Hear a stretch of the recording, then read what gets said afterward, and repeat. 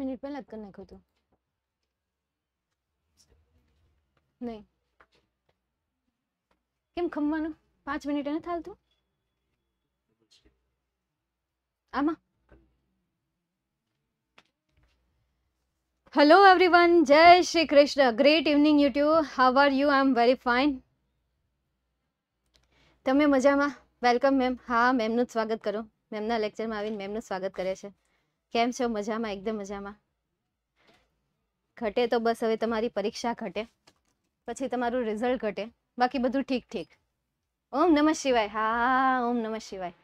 ઓમ નમઃ શિવાય.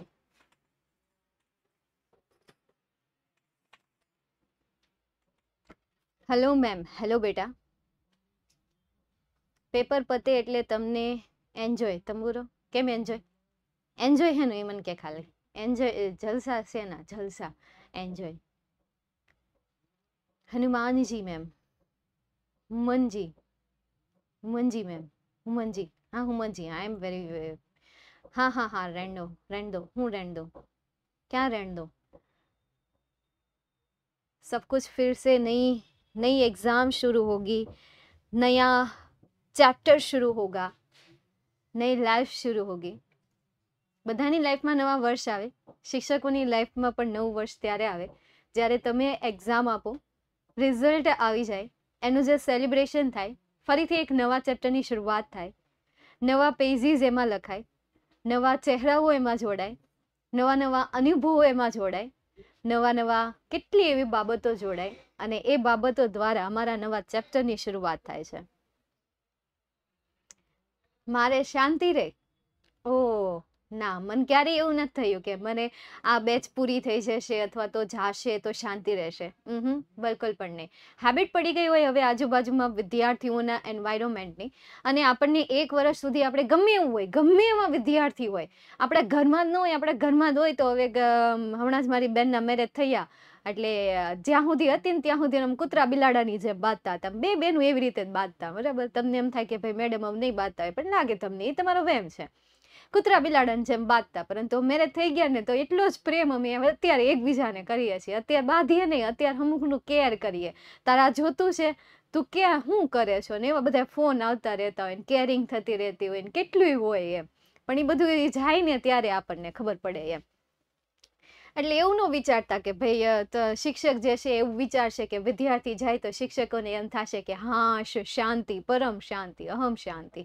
ના ના, એ તમારો વેમ છે. એક નવા ચેપ્ટરની શરૂઆત થાય ત્યારે બહુ સ્ટ્રગલ પડે. જૂનું ચેપ્ટર પૂરું થાય ને ત્યારે જૂના ચેપ્ટરની યાદ આવે. પાસને હંમેશા આપણે યાદ કરીએ છીએ. કોઈ દિવસ આપણે પાસને ભૂલી ગયા. ભૂલીએ તો અમુક ક્ષણ સુધી ભૂલીએ. પછી પાછું આપણને એ પાસ્ટ આપણને યાદ આવતું હોય. ઓકે?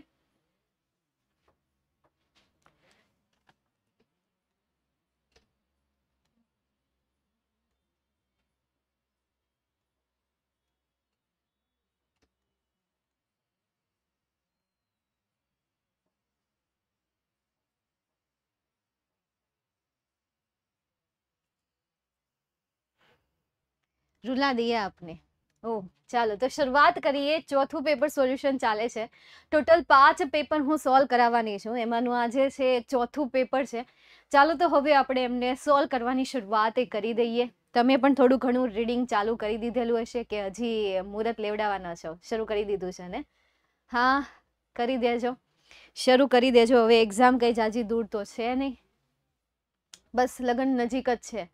બરાબર? ટવકા સાથે પહોંચી જાજો. ચાલો ટવકા નહીં તમારા paper, pen, pencil pen pen, pencil ને કેલ્સી ને એવું બધું લઈને પહોંચી જાજો. ચાલો, જોઈએ. પહેલો વિભાગ એમાં પહેલો question write whether the following sentence are true or false ખરું છે કે ખોટું એ જણાવવાનું છે?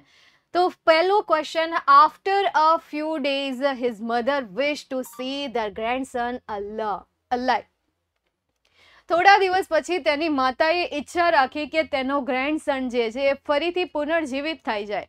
તો એ સાચી વાત છે, તો હા, અહીંયા આન્સર તરીકે આવશે ટ્રુ આન્સર નેક્સ્ટ એના પછીનો question second question they are ready to fight though they are not rewarded properly હવે તેઓ લડવા માટે તૈયાર થઈ જાય છે જ્યારે તેમને વ્યવસ્થિત રીતે રિવાર્ડ પણ નથી આપવામાં આવતો.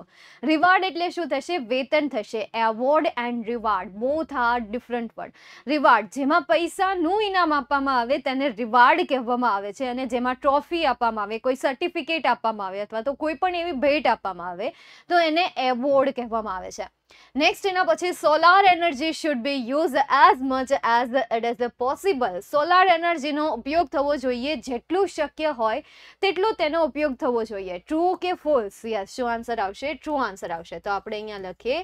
ટ્રુ અને અહીંયા પણ શું આન્સર આવશે? True to be free is more than to be dependent મતલબ કે મુક્ત રહેવું મતલબ કે કોઈના ઉપર આધારિત રહેવું કોઈના ઉપર આધાર રાખવો મુક્ત મતલબ કે કોઈના ઉપર આધારિત રહેવું તો અહીંયા આન્સર તરીકે શું આવશે ફૂલ્સ આન્સર આવશે તો આપણે અહીંયા લખીએ ફૂલ્સ નેક્સ્ટ એના પછીનો question question number to find and write the nearest meaning blame accuse skill continue કે પોન્ડ એટલે હા, તો અક્યુઝ દેન આફ્ટર ફર્સ્ટમાં ફોલ્સ આવે. ચાલો જોઈએ ફર્સ્ટમાં after a few days his mother wish grandson alive સાચી વાત છે ફોલ્સ આવે. હું કામ આવે? ફોલ્સ એ કોણ કહેશે? એ તો હવે મેમ કહેશે જ ને. હું કામ કહેશે? એ મેમ કહી દેશે, બરાબર? હા, તો મેમ કહી દેશે ને તમને ખબર જ છે. શું કામ અહીંયા ફોલ્સ આવે? કારણ કે એના ગ્રેન્ડસનને એને અલાઈવ નહોતું જોવાનું. ખાલી એનો દીકરો હતો. એ જે હતો એ કોણ હતો? દીકરો હતો. એટલા માટે શું આવશે? ફોલ્સ આવશે. નેક્સ્ટ એના પછીનું જે નિયરેસ્ટ મિનિંગ છે, એ નિયરેસ્ટ મિનિંગમાં બ્લેમ તો બ્લેમ માટે કયો વર્ડ જોઈ લેશું? થર્ડમાં પણ ઇમ્પોસિબલ છે. ચાલો થર્ડને ફરીથી આપણે રીડ કરીએ. Solar energy should be use as much as it is impossible હા, એવું કહ્યું છે. પોસિબલ તો કહ્યું નથી. નહીં તો વળી શું હોય કે ભાઈ અત્યારે વિદ્યાર્થીઓને કીધું છે ભાઈ મોટિવેશનને એટલા બધા ડોઝ સાંભળ્યા છે અને મેં એટલા સાંભળ્યા છે. એટલે ઇમ્પોસિબલમાં મને આ ઇમ્પોસિબલ દેખાય છે. એટલે અહીંયા ભૂલથી આપણે શું કરી નાખ્યું છે? ટ્રુ કરી નાખ્યું છે. કાંઈ નહીં. ઉંમર સાથે સાથે એવી ભૂલો થયા કરે. ઉંમર વધતી જાય એમ એમ નાની નાની ભૂલો થતી જાય. પણ આપણે એને પાછું વળીને શું કરવાનું? સુધારવાનું. હવે સુધારતી વખતે પરીક્ષામાં for example third question question છે અને થર્ડ ક્વેશ્ચનમાં તમે લખી નાખ્યું છે ટ્રુ હવે એને સુધારવું છે, તો એના પર ચેકો મારવાનું, બાજુમાં નહીં લખવાનું નીચેની લાઇનમાં લખવાનું.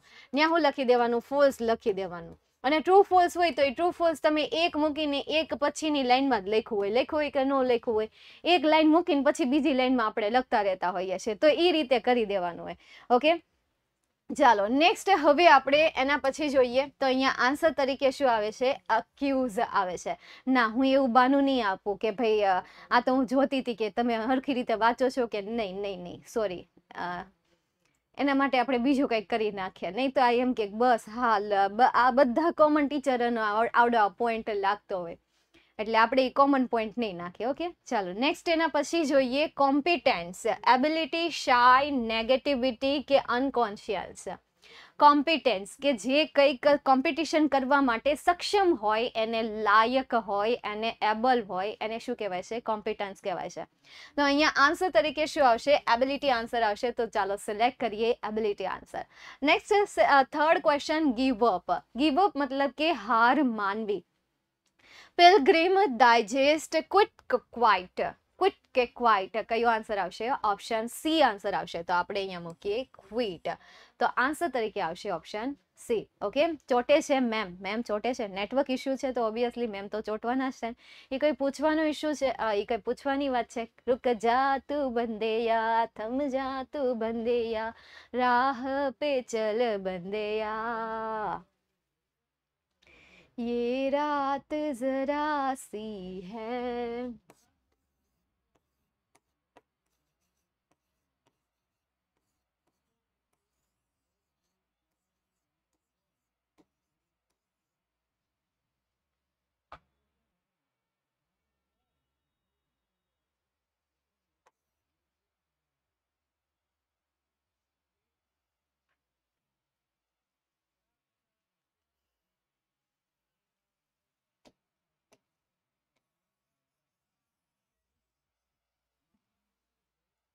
નેટવર્ક ઇસ્યુ સોલ્વ થઈ ગયો, એટલા માટે મેં ત્યાંથી રિમૂવ કરી નાખ્યો. ના આ ક્વિટ એટલે શું થશે? હાર મની જવી અથવા તો સ્ટોપ કરી દેવું, બરાબર? આ ક્વાઇટ એટલે શું થશે? કામ થશે. કામ. અને Q U I T E નહીં, પરંતુ ઈ ટી ક્વાઇટ ક્વાઇટ તો આનો મતલબ શું થશે? તદ્દન. તદ્દન. આ ત્રણ શબ્દ વચ્ચેનો આટલો ડિફરન્ટ છે. પાછો નેટવર્ક ઇશ્યુ આવ્યો. થઈ ગયો. થઈ ગયો સોલ્વ થઈ ગયો થઈ ગયો. ગ્રીન સિગ્નલ આવી ગયું. અહીંયા છે ને આપણી છે સામે સ્ક્રીન છે ને સ્ક્રીન થોડીક નીચી છે. ઇટ્સ ઓકે બટ ત્યાં ખૂણામાં દેખાય નેટવર્ક ગ્રીન હોય, મતલબ ફૂલ છે. રેડ થઈ જાય, ગયું. ઓરેન્જ આવે, જરા જરા ચાલે છે. એવી રીતે. જેવી રીતે કોરોનામાં બધાને સિમ્બોલ આપ્યા હતા ને, કે જ્યાં બહુ બધું હોય ત્યાં રેડ ઝોન કરી દેવામાં આવે, જ્યાં જરા જરા જરા જરા અસર હોય ત્યાં ઓરેન્જ ઝોન કરી દેવામાં આવતો હતો અને જ્યાં કંઈ નથી, ત્યાં એ લોકોને ગ્રીન ઝોન જાહેર કરતા હતા, બસ એના જેવું છે. હવે નહીં ચોટતું હોય. ના ના, બિલકુલ પણ ચાલો નેક્સ્ટ હવે એના પછીનો ક્વેશ્ચન જોઈએ. Select the most appropriate language functions from the brackets and write against the given sentences કે જે તમને એક્ઝામમાં ત્રણ માર્ક્સમાં પૂછાય છે. પહેલો question in of is being qualified he does not get a government job તો અહીંયા તમને ઇન ઓફ આપેલું છે Reddit comparing people showing contrast describing process કે શોવિંગ રિઝલ્ટ વિરોધાભાસ છે એટલે શું આવવાનું છે કોન્ટ્રાસ્ટ આવવાનું છે તો આપણે અહીંયા સિલેક્ટ કરીએ showing contrast SC prepare such a book that everyone will appreciate Mr. Raval such and that. વાક્યમાં તમને શું દેખાય છે? સચ ધેટ દેખાય છે. તો એના માટે તમે શું યુઝ કરશો? શોવિંગ રિઝલ્ટ તો આપણે અહીંયા લખીએ એસ આર નેક્સ્ટ એના પછી no other cricketer is as cool as M S Dhoni અહીંયા તમને એઝ એઝ આપેલું છે. એ શું દર્શાવે છે? કમ્પેરિઝન તો આપણે અહીંયા લખીએ કમ્પેરિંગ પીપલ તો સીપી નેક્સ્ટ એના પછીનો question select the most appropriate responses focusing on given function કે જે તમને એક્ઝામમાં ચાર માર્ક્સમાં પૂછાય છે. ફર્સ્ટ રવિ કહે છે I want to be a successful person ત્યારે વિકાસ કહે છે કે શોવિંગ પર્પઝ મતલબ કહે છે એ તો તમારે ગોતવાનું છે કે ભાઈ શું કહે છે?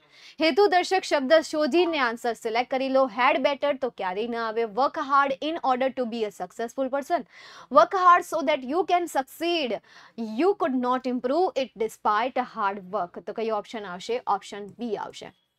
નાવ અહીંયા પણ તમને સોધેટ આપેલું છે કે જે તમને પર્પઝ જ દર્શાવે છે. સો ધેટ પણ શેમાં આવે છે? પર્પઝમાં જ આવે છે. પરંતુ એના પછી જે અહીંયા તમને સક્સીડ વર્ડ આપેલું છે ને, એના લીધે એ આન્સર નહીં આવે. વાક્ય રચના ખોટી છે એટલા માટે.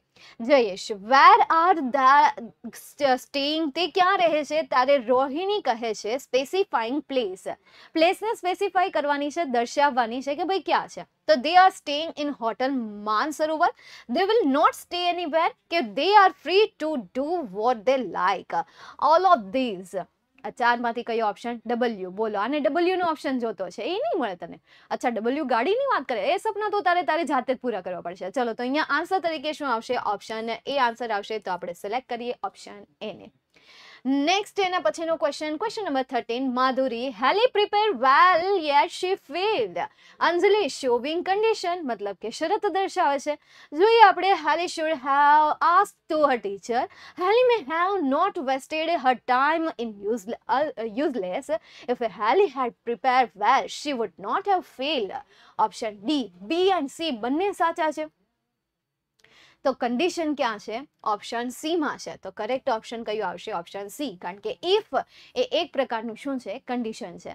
નેક્સ્ટ એના પછી Vikas. Do you play cricket Viren કહે છે no these days I don't get time but habitual past કહેવાનું છે I got the chance to play it yesterday I am used to playing it in my school day I used to play it in my school days I played it many times a school તો અહીંયા option yes ચૌદમાં option શું આવશે? C answer આવશે. Next એના પછીનો question જઈએ તો એના પછીનો જે ક્વેશ્ચન છે એ ડબલ્યુએચ ક્વેશ્ચન છે કે જેમાં તમારે અંડરલાઈન આપેલા શબ્દોને દૂર કરવાના છે અને પ્રોપર ડબલ્યુએચ શબ્દ સિલેક્ટ કરવાનો છે ક્વેશ્ચન સિલેક્ટ કરવાનો છે. We play cricket because India won the world cup because પછીનું સેન્ટેન્સ રિમૂવ કરવાનું છે. તો સવાર શેનાથી થશે? વાયથી થશે. Why do we play cricket what should we do who should play cricket કે નન ઓફ ધીઝ કયો ઓપ્શન આવશે option A not B B option નહીં આવે વોટથી સવાલની શરૂઆત નહીં થાય કારણ કે કારણ દર્શક શબ્દ રિમૂવ કરવાનું છે અને જ્યારે જ્યારે કારણ દર્શક શબ્દને રિમૂવ કરવાનું હોય ત્યારે ત્યારે અશ્વિની બેટા તમારે હંમેશા વાયથી ન જ સવાલની શરૂઆત કરવાની રહેશે second question I book all the tickets for my tour to south Indian online and paid through Paytm કે ભાઈ, મેં મારી ટૂરની જે ટિકિટ છે, એ મેં ઓનલાઈન બુક કરી છે, એ પણ શેના દ્વારા પેટીએમ દ્વારા. તો કેવી રીતે તેણે એ ટિકિટને બુક કરી? તો કેવી રીત? રીત અહીંયાથી દૂર થઈ છે, તો રીત રિવાજ અને મેથડ જ્યારે દૂર થાય ને, ત્યારે શેનાથી સવાલ થશે? હાવથી સવાલ થશે. તો એ ઓપ્શન તમને શેમાં આપેલો છે? એ અને ડીમાં ડી નહીં આવે કારણ કે ડ્યુ આપેલું છે. અહીંયા તો તમને બુકડ આપેલું છે પાસ્ટ ફોર્મ છે. તો સહાયકારક ક્રિયાપદ તરીકે કયું ફોર્મ આવવું જોઈએ? ઓપ્શન એ ડી વાળું ફોર્મ આવવું જોઈએ. તો અહીંયા પણ આન્સર તરીકે શું આવશે? ઓપ્શન એ આવશે. નેક્સ્ટ હવે આપણે આગળ જઈએ. હા તો Rahul went to Dubai for learning architecture હવે રાહુલ જે છે દુબઈ ગયો, એ પણ આર્કિટેક્ચર લર્ન કરવા માટે. તો દુબઈ ઇઝ અ પ્લેસ અને જ્યારે સેન્ટેન્સમાંથી સ્થળ દૂર થાય, ત્યારે વેરથી સવાલ થાય. Option A who went to Dubai for learning architecture option B where did Rahul go for learning architecture option C what did Rahul learn in Dubai option D where had Rahul gone for learning architecture તો કયો answer આવશે option B answer આવશે કેમ કારણ કે went is a past form simple past form તો ત્યાં સહાયકારક ક્રિયાપદ તરીકે ડીડ આવે શું આવે ડીડ આવે નહીં કે હેડ એટલા માટે ડી આવશે નહીં નેક્સ્ટ એના પછીનો question Manali will visit Patan. હા, મનાલી. એ છે ને? હા, Manali will visit Patan to buy some fancy patolas. એ પાટણની મુલાકાત લઈ રહી છે, લેશે કારણ કે તેને પટોલા ખરીદવા છે. તો ફરીથી અહીંયા કારણ દર્શક શબ્દ રિમૂવ થયો છે, તો અહીંયા કારણ દર્શક શબ્દ રિમૂવ થાય ત્યારે શેનાથી સવાલ થશે? સેમ હમણાં મેં તમને કહ્યું. હવે ટ્રાય કરું. અશ્વિની. શું? વાયથી સવાલ થશે. તો અહીંયા કયો ઓપ્શન છે? ઓપ્શન સી તો આપણે અહીંયા સિલેક્ટ કરીએ ઓપ્શન સી ને. નેક્સ્ટ એના પછીનો ક્વેશ્ચન જોઈએ. રીડ ધ એક્સ્ટ્રા ઓ, વિભાગ બી આવી ગયા. ચાલો તો વિભાગ બી ને હવે આપણે સોલ્વ કરીએ. વિભાગ બી નો આ જે ક્વેશ્ચન હતો. એ હવે બાર માર્ક્સમાં થઈ ગયો છે. દસ માર્ક્સમાં નથી. તો જુઓ, પહેલો ક્વેશ્ચન જે છે એ પહેલા ચેપ્ટરનો જ છે. પહેલો છે પેરેગ્રાફ આપેલો છે પેરેગ્રાફ પહેલા ચેપ્ટરનો છે. જોઈએ આપણે ફર્સ્ટ ક્વેશ્ચન રીડ કરો does the customer have technical knowledge હમણાં જ મેં આનો એક વીડિયો જોયો. એક વિદ્યાર્થી હતો કે જેણે આવું કંઈક મેળવ્યું હશે ક્યાંકથી ઉપાડીને મને ઘા કરી દીધું. કે મેં જોવું એમ. એટલે મેં કીધું, ઠીક છે. અને એ વિડીયોમાં હતું એવું કે હમારે જો ગુજરાતી મીડિયમ કે બચ્ચે હોતે અથવા તો કોઈ બી બચ્ચે હોતે જેને paragraph base question answer solve કરવાનું હોય તો એ એ કાંઈ નહીં, એને ઉપર આ સૂચના આપી હોય, એને કાંઈ લેવા દેવા નથી. વિદ્યાર્થીને આ સૂચના અરે કાંઈ લેવા દેવા નહીં એક્ઝેક્ટલી હોય કે આ સૂચના અરે કાંઈ લેવા દેવા નથી. એક્સ્ટ્રાટ વાંચો અને પછી સવાલના જવાબ આપો. ના ના ના એને કાંઈ નહીં. બસ એક્સ્ટ્રાટની નીચે જે સવાલ આપેલા હોય, સવાલ વાંચવાના ની શબ્દ ઉપરના પેરેગ્રાફમાં આપેલા હોય ત્યાં મેચ કરવાના, અચ્છા જ્યાં મેચ થાય છે, એ લાઈને ઉપાડી લેવાની અને આન્સર તરીકે લખી દેવાની. બાકી શું મેથડ આવે, શું ટિપ્સ આવે, શું ટ્રિક્સ આવે, તેલ પીવા ગઈ ચાલો, એવું કંઈક હતું, મેં કીધું, મજા આવી ગઈ. હા, ભાઈ, હા, તો ભાઈ, આપણે જવું કંઈક કહીએ છીએ. નેક્સ્ટ એના પછી ઓગણીસમું does the customer have technical knowledge શું કસ્ટમર પાસે ટેકનિકલ નોલેજ છે ખરા? Does the customer has technical knowledge no the customer doesn't have technical knowledge very good Devanshi તો આપણે અહીંયા આ જ આન્સર આવશે. ચાલો, હું લખી દઉં અહીંયા. થોડું ઘણું મને સારા અક્ષર લખવાનું મન થાય છે તો લખી દઈએ. No the customer doesn't have અથવા તો ધ કસ્ટમર હા યાદ આવશે. The customer doesn't have technical knowledge એટલું મેં મોટું લખ્યું? જો, ટૂંકમાં. તમે આવે, તમે આવી રીતે ટૂંકમાં લખીને નહીં આવતા. Second question what is the first step ભાઈ, પહેલું સ્ટેપ શું છે? તો the first step is to open your heart આ પહેલું સ્ટેપ છે. અમુક ક્વેશ્ચનના આન્સર જે છે, એ આન્સર બેઠા આપેલા હશે. અમુક ક્વેશ્ચનના આન્સર તમારે જાતે બનાવવાના રહેશે. ઓકે જેમ કે આપણે હમણાં આ ક્વેશ્ચનનો આન્સર બનાવ્યો. આ બધું જે છે વાક્ય રચના ઉપર ડિપેન્ડેડ હોય વાક્ય રચના આવડતી હશે તો તમે આને સોલ્વ કરી શકશો. સવાલોના જવાબ આની અંદર જ આપેલા હોય છે. ઓકે નેક્સ્ટ એના પછીનો ક્વેશ્ચન જોઈએ. What kind of preparedness strike against the વોરનો આ ચેપ્ટર છે. જોઈએ, પહેલો question what kind of preparedness is expected from workers. Workers પાસેથી કયા પ્રકારની પ્રિપેરનેસ જે છે એ એક્સપેક્ટ કરવામાં આવે છે? તો આ પેરેગ્રાફ ઓલરેડી આપણે એકવાર સોલ્વ કરેલો છે. પહેલી જ લાઇનમાં તમને આન્સર આપેલો છે the kind of preparedness the workers want is a reorganise and reconstruction of their whole life તેમના સંપૂર્ણ જીવન વિશેનું જે પણ એ પ્લાનિંગ બનાવે છે, એના ઉપર રીઓર્ગેનાઇઝ થાય, એના ઉપર રિકન્સ્ટ્રક્શન થાય, એ એ વર્કર્સ ઈચ્છે છે. એ એ કામદારો ઈચ્છે છે. Second question what did the Germans find out years ago જર્મને વર્ષો પહેલા શું ગોતી કાઢ્યું હતું? તો Germans found out years ago that they could not raise good soldier in the slums so they abolish the slums આ આખો પેરેગ્રાફ યાર સોલ્વ કર્યો હોય એવું લાગે છે. મળતો ઝૂલતો હોય ક્યાં આને જોયા હોય એવું લાગે છે. આપણને ક્યારેક ક્યારેક થાય ને, મળતા હોય એટલે. હમણાં જે અહીંયા સુરતમાં એક બિઝનેસ બિઝનેસ એક્સપો હતો. એક વિદ્યાર્થી મતલબ કે ક્યારનો જોયા કરે ક્યારનો જોયા કરે ક્યારનો જોઈ કરે, અત્યારે અગિયાર કોમર્સમાં છે. ક્યારનો જોયા કરે ક્યારનો જોયા કરે, મેં કીધું કંઈક લાગે તો છે ભાઈ, આ એકાદો સ્ટુડન્ટ હશે. કારણ કે હવે તો ખબર પડી ગઈ હોય કે ભાઈ જોતા હોય તો હું કામ જોતા હોય. એનો હુલ્યો જોઈને અથવા તો એ એ વિદ્યાર્થીને જોઈને ખબર પડી જાય. પણ પછી આવીને એને પૂછ્યું, હિદમત કરીને કે, મેડમ, તમે ધ્રુવી મેડમ છો ને ઇંગ્લિશમાં યુટ્યુબમાં ભણાવી. મેં કીધું, હા બેટા એ જ છું એમ. એ કે હું ક્યાંનો વિચારતો હતો, મેં કીધું મેં ક્યાંક જોયા છે, ક્યાંક જોયા છે, આપણે તો તૈયાર થયા હોય એટલે કંઈ ખબર તો હોય એમ એમ. આપણે ભૂલ્યો તો આમ આપણે અહીંયા ભણાવતા હોય રિયલમાં જોઈએ એટલે ફેસ તો ચેન્જ થઈ જ જવાનો છે. બરાબર? હા, એટલો બધો ચેન્જ ન થઈ જાય, પણ એ કે કે એટલે મેં કીધું, લાઈને હવે ડેરિંગ કરીને જાયેલો હશે તો આપણે હાય હેલો કરી દઈશું નહીં હોય તો ઠીક છે, કાંઈ નહીં, આપણે સોરી કહીને વહી આવશું. મેં કીધું, તે આ વિચારી લીધું તેલા દિમાગમાં. પાછો એ મારી સામે કહે છે કે કે હશે તો આપણે હાય હેલો કરી દેશું નહીં હોય તો સોરી કહીને વહી આવશું મેં કીધું વાહ તારું સેન્સ ઓફ હ્યુમર તો બહુ જોરદાર છે બાકી આવજે ક્યારેક અહીંયા ટ્યુશન ઉપર મળવા આવજે તને એડ્રેસ ખબર છે ને ન ખબર હોય તો પૂછીને આવી જાય છે તને નંબર ગમે ત્યાંથી મળી જશે એવું હતું ચાલો इसको कहीं सुनेला लगता है रे सुनेला लगता है रे हाँ सुनेला लगता है रे બસ यही સુનેલા લગતા હે રે નેક્સ્ટ એના પછી આગળ જઈએ ટ્વેન્ટી થ્રી ઉપર What was heard soon after the paw head fallen on the floor? સાતમું ચેપ્ટર છે મંકીઝ પો લખણ ખોટો હાળો. એના લીધે આખું ચેપ્ટર લખાઈને તમારે ભણવાનું આવ્યું. કાંઈ વાંધો નહીં, ભણી લ્યો. હે? જે જે જે જે વર્ડ વોકેબલરી વધી. સારું ને? ચાલો, જોઈએ. હવે શું થયું કે what was heard soon after the paw head fallen on the floor હવે પો જ્યારે જમીન ઉપર પડ્યો, ત્યારે શું સંભળાયું? તો knock was heard at the door હવે તમે અહીંયાથી લખવાની શરૂઆત કરો છો. અહીંયા તમને વોઝ આપ્યું છે, અહીંયા તમને ફેલ આપેલું છે. કાળ સેમ જ છે. તો અહીંયાથી લખવાની શરૂઆત કરી દો. હવે અહીંયાથી તમે લખો છો, હે? અહીંયા સુધી તમે લખો છો. તો હવે આ આન્સર મેઇન છે ને, તો આની નીચે પેન્સિલથી અંડરલાઇન કરી દેવાની. કેટલી પેન્સિલથી અંડરલાઇન કરી દેવાની? એટલે શિક્ષકને ખાલી એમ જ થાય કે ભાઈ આ અંડરલાઇન કર્યું ને, એટલું દેન વાંચવાનું. બીજું કાંઈ વાંચવાનું નથી. એ મેઇન આન્સર છે. અને થોડું ઘણું ગુજરાતી આવડવું જોઈએ. ન આવડતું હોય ને તો ઊંધા માથે તૈયારી કરીને બાકી શીખી તો લેવાનું તે. ત્યાં કોઈ તુક્કા નથી હોતા.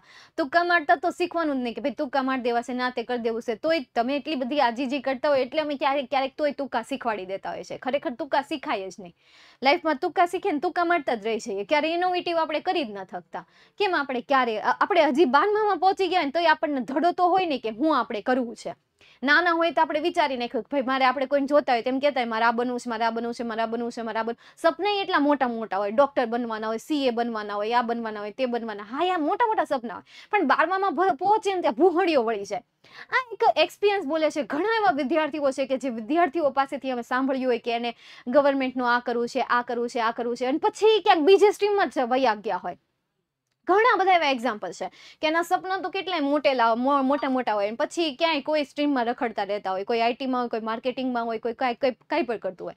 એટલે ભાઈ આપણા પોઈન્ટ ઉપર ટકેલા રહો. આપણે આપણી વાત ઉપર નથી રહેતા, તો આપણે હું આપણે બીજા પાસે એક્સપેક્ટેશન રાખવાના કે ભાઈ, હા એ કે છે એના ઉપર રહેશે. તંબુરો આપણે રહી શકીએ તો એ રહેવાના. ચલો, છોડો, આપણે અહીંયા આવી જાઓ. આપણે પહેલાં અત્યારે પરીક્ષાની તૈયારી કરી લઈએ, પછી આપણે પછીનું વિચારી લઈશું. તો બીજો ક્વેશ્ચન છે વુ ઇઝ હર્બર્ટ તો હર્બર્ટ કોણ છે? Son of Mr White and Mrs White તો Herbert is son of Herbert is આમાં તમારે જવાબ જાતે બનાવવો પડશે. આમાં કંઈ તમને અહીંયા બેઠો ન થાય એટલે આમાં તમારે જાતે બનાવી દેવો પડશે. અ, તો આમાં જ- જવાબ બનશે Herbert is son of Mr White Mr White and Mrs White. Full stop પાપ કા સંગ્રામ રે. હાલો ક્લાસે લેક્ચર લઉં છું. જો હજી તને જ યાદ કરતી હતી લેક્ચરમાં મેં કીધું ભાગ્યા હોય ને તો બાદ બાદ કરવી. ને પછી આઘા જાય ને તો એટલો પ્રેમ બારો આવે ને કે આપણને એમ લાગે ઓ હો હો હો દુનિયાભરનો આનંદ પાસે જ પડ્યો હશે. હા બારમાં લેક્ચર લઉં છું ને એટલે એમ કહે કે અમારી એક્ઝામ પૂરી થઈ જાય ને પછી મેમ એમ કહેશે શાંતિ પરમ શાંતિ એમ. કમેન્ટ કરીને કહે છે નવરી વેજા. અરે બોલ. કઈ પણ હવે કામનું બોલ ને પછી પછી બીજું બોલજે. સારું હાલ તો મૂકી દે હવે. હા. જોયું? આવી ગયો ફોન દીદીનો જ હતો દીદીનો. મિસ્ટર વ્હાઇટ લખીએ તો ચાલે. ચાલે? ખબર જ હતી. કંઈક આવા વિચિત્ર સવાલ તો તમે પૂછ્યો તેમ. આખિરકાર એક્સપેક્ટેશન રખે તો કે ભી ક્યાં રખે? બોલવાની જતી પણ ચાન્સ ન મળ્યો યાર. મોબાઈલ આવી ગયો, નહીં તો હું કહેવાની જતી કે, ભાઈ કોઈક વિદ્યાર્થી પૂછશે કે, ભાઈ મેમ ખાલી મિસ્ટર વ્હાઇટ લખીએ તો ચાલે. મેં કીધું મિસ્ટર મિસિસ વ્હાઇટને શું કામ સાઈડમાં રાખી દેવાના? બંનેનો દીકરો છે તો બંનેનો લખો ને. ખાલી એકનો લખીને આવી જાવ છો. કઈ રિંગટોન છે? બસ આ તમે સાંભળી એ જ રિંગટોન છે. ચાલો. હું વાત તો કરવી પડે ને. નમૂના પેપર સોલ્વ કરો, હાલો નેક્સ્ટ એના પછીનો question what is the author going to talk about અચ્છા ફોર યુથ માટેનું આ ચેપ્ટર છે ઓકે તો અહીંયા જે ઓથર છે, લેખક છે છે, એ લેખક શેના વિશે વાત કરી રહ્યા છે. તો what is the author going to talk about તો I would like to discuss with you the problem of freedom તો અહીંયા જે તમને આઈ આપેલું છે, એ આઈની જગ્યાએ જસ્ટ તમે આ એક ઓથર શબ્દ મૂકી દો, બાકી કાળ ગયો તેલ પીવા. તો અહીંયાથી આપણે લખીએ. એટલે તેલ પીવા જવા નથી દેવાનું. પણ તમને એમ થાય છે કે ભાઈ મારે બહુ વધારે પડતા ચેન્જીસ નથી કરવા. તો આ રીતે પણ તમે બનાવી શકો. The author would like to discuss with you the problem of freedom હવે તમારી પાસે કોઈ આવી રીતે કાન પકડાવે કે આવી રીતે કાન પકડાવે? કાન પકડવાની રીત જે છે, એ રીત ચેન્જ થઈ જાય છે. હવે તમે લખો છો વુડ લાઈક કરીને, અથવા તો તમે એમ લખો છો the author is going to talk about the problem of freedom તો આ મેથડ એ ચાલે. બે સવાલના જવાબ હું તમને અહીંયા કહું છું. એક તો અહીંયાથી બેઠો ઉપાડીને લખો હોય તો આઈની જગ્યાએ ધ ઓથર કરવાના. એમ તમે કહેતા હોય કે મેમ ત્યાં આઈ કરી કહેતા હાલે નો હાલે ત્યાં માર્ક્સ કટ થઈ જાય. હવે નાના નાના ચેન્જીસ હોય ને કરવા પડે. હવે હાવ હાલતું હોય ને, તો પરીક્ષા લેવાય જ નહીં. મૂકી જ દેવાય. હમણાં હા, બસ, એ નો લેવાય, મૂકી દેવાય. અથવા તો બીજું આપણે જોઈએ અહીંયા. The author is going to talk about the problem of freedom આ ફર્સ્ટ ક્વેશ્ચનનો આન્સર આવશે. સેકન્ડ ક્વેશ્ચન જોઈએ is the problem of freedom complex why શું? આ જે સ્વતંત્રતાની જે સમસ્યા છે, એ કોમ્પ્લેક્સ છે? છે તો શા માટે છે? મતલબ છે તો ખરા જ તે. એટલે તો વાય પૂછ્યું છે. એક તો પૂછે ને, પછી છેલ્લે વાય એ પૂછી નાખે. ચાલો તો જોઈએ આપણે. અહીંયા તમને કીધું છે it is a very complex problem needing deep study and understanding તો અહીંયા તમને જે ઈટ આપેલું છે એ ઈટની જગ્યાએ તમારે શું કરી દેવાનું છે?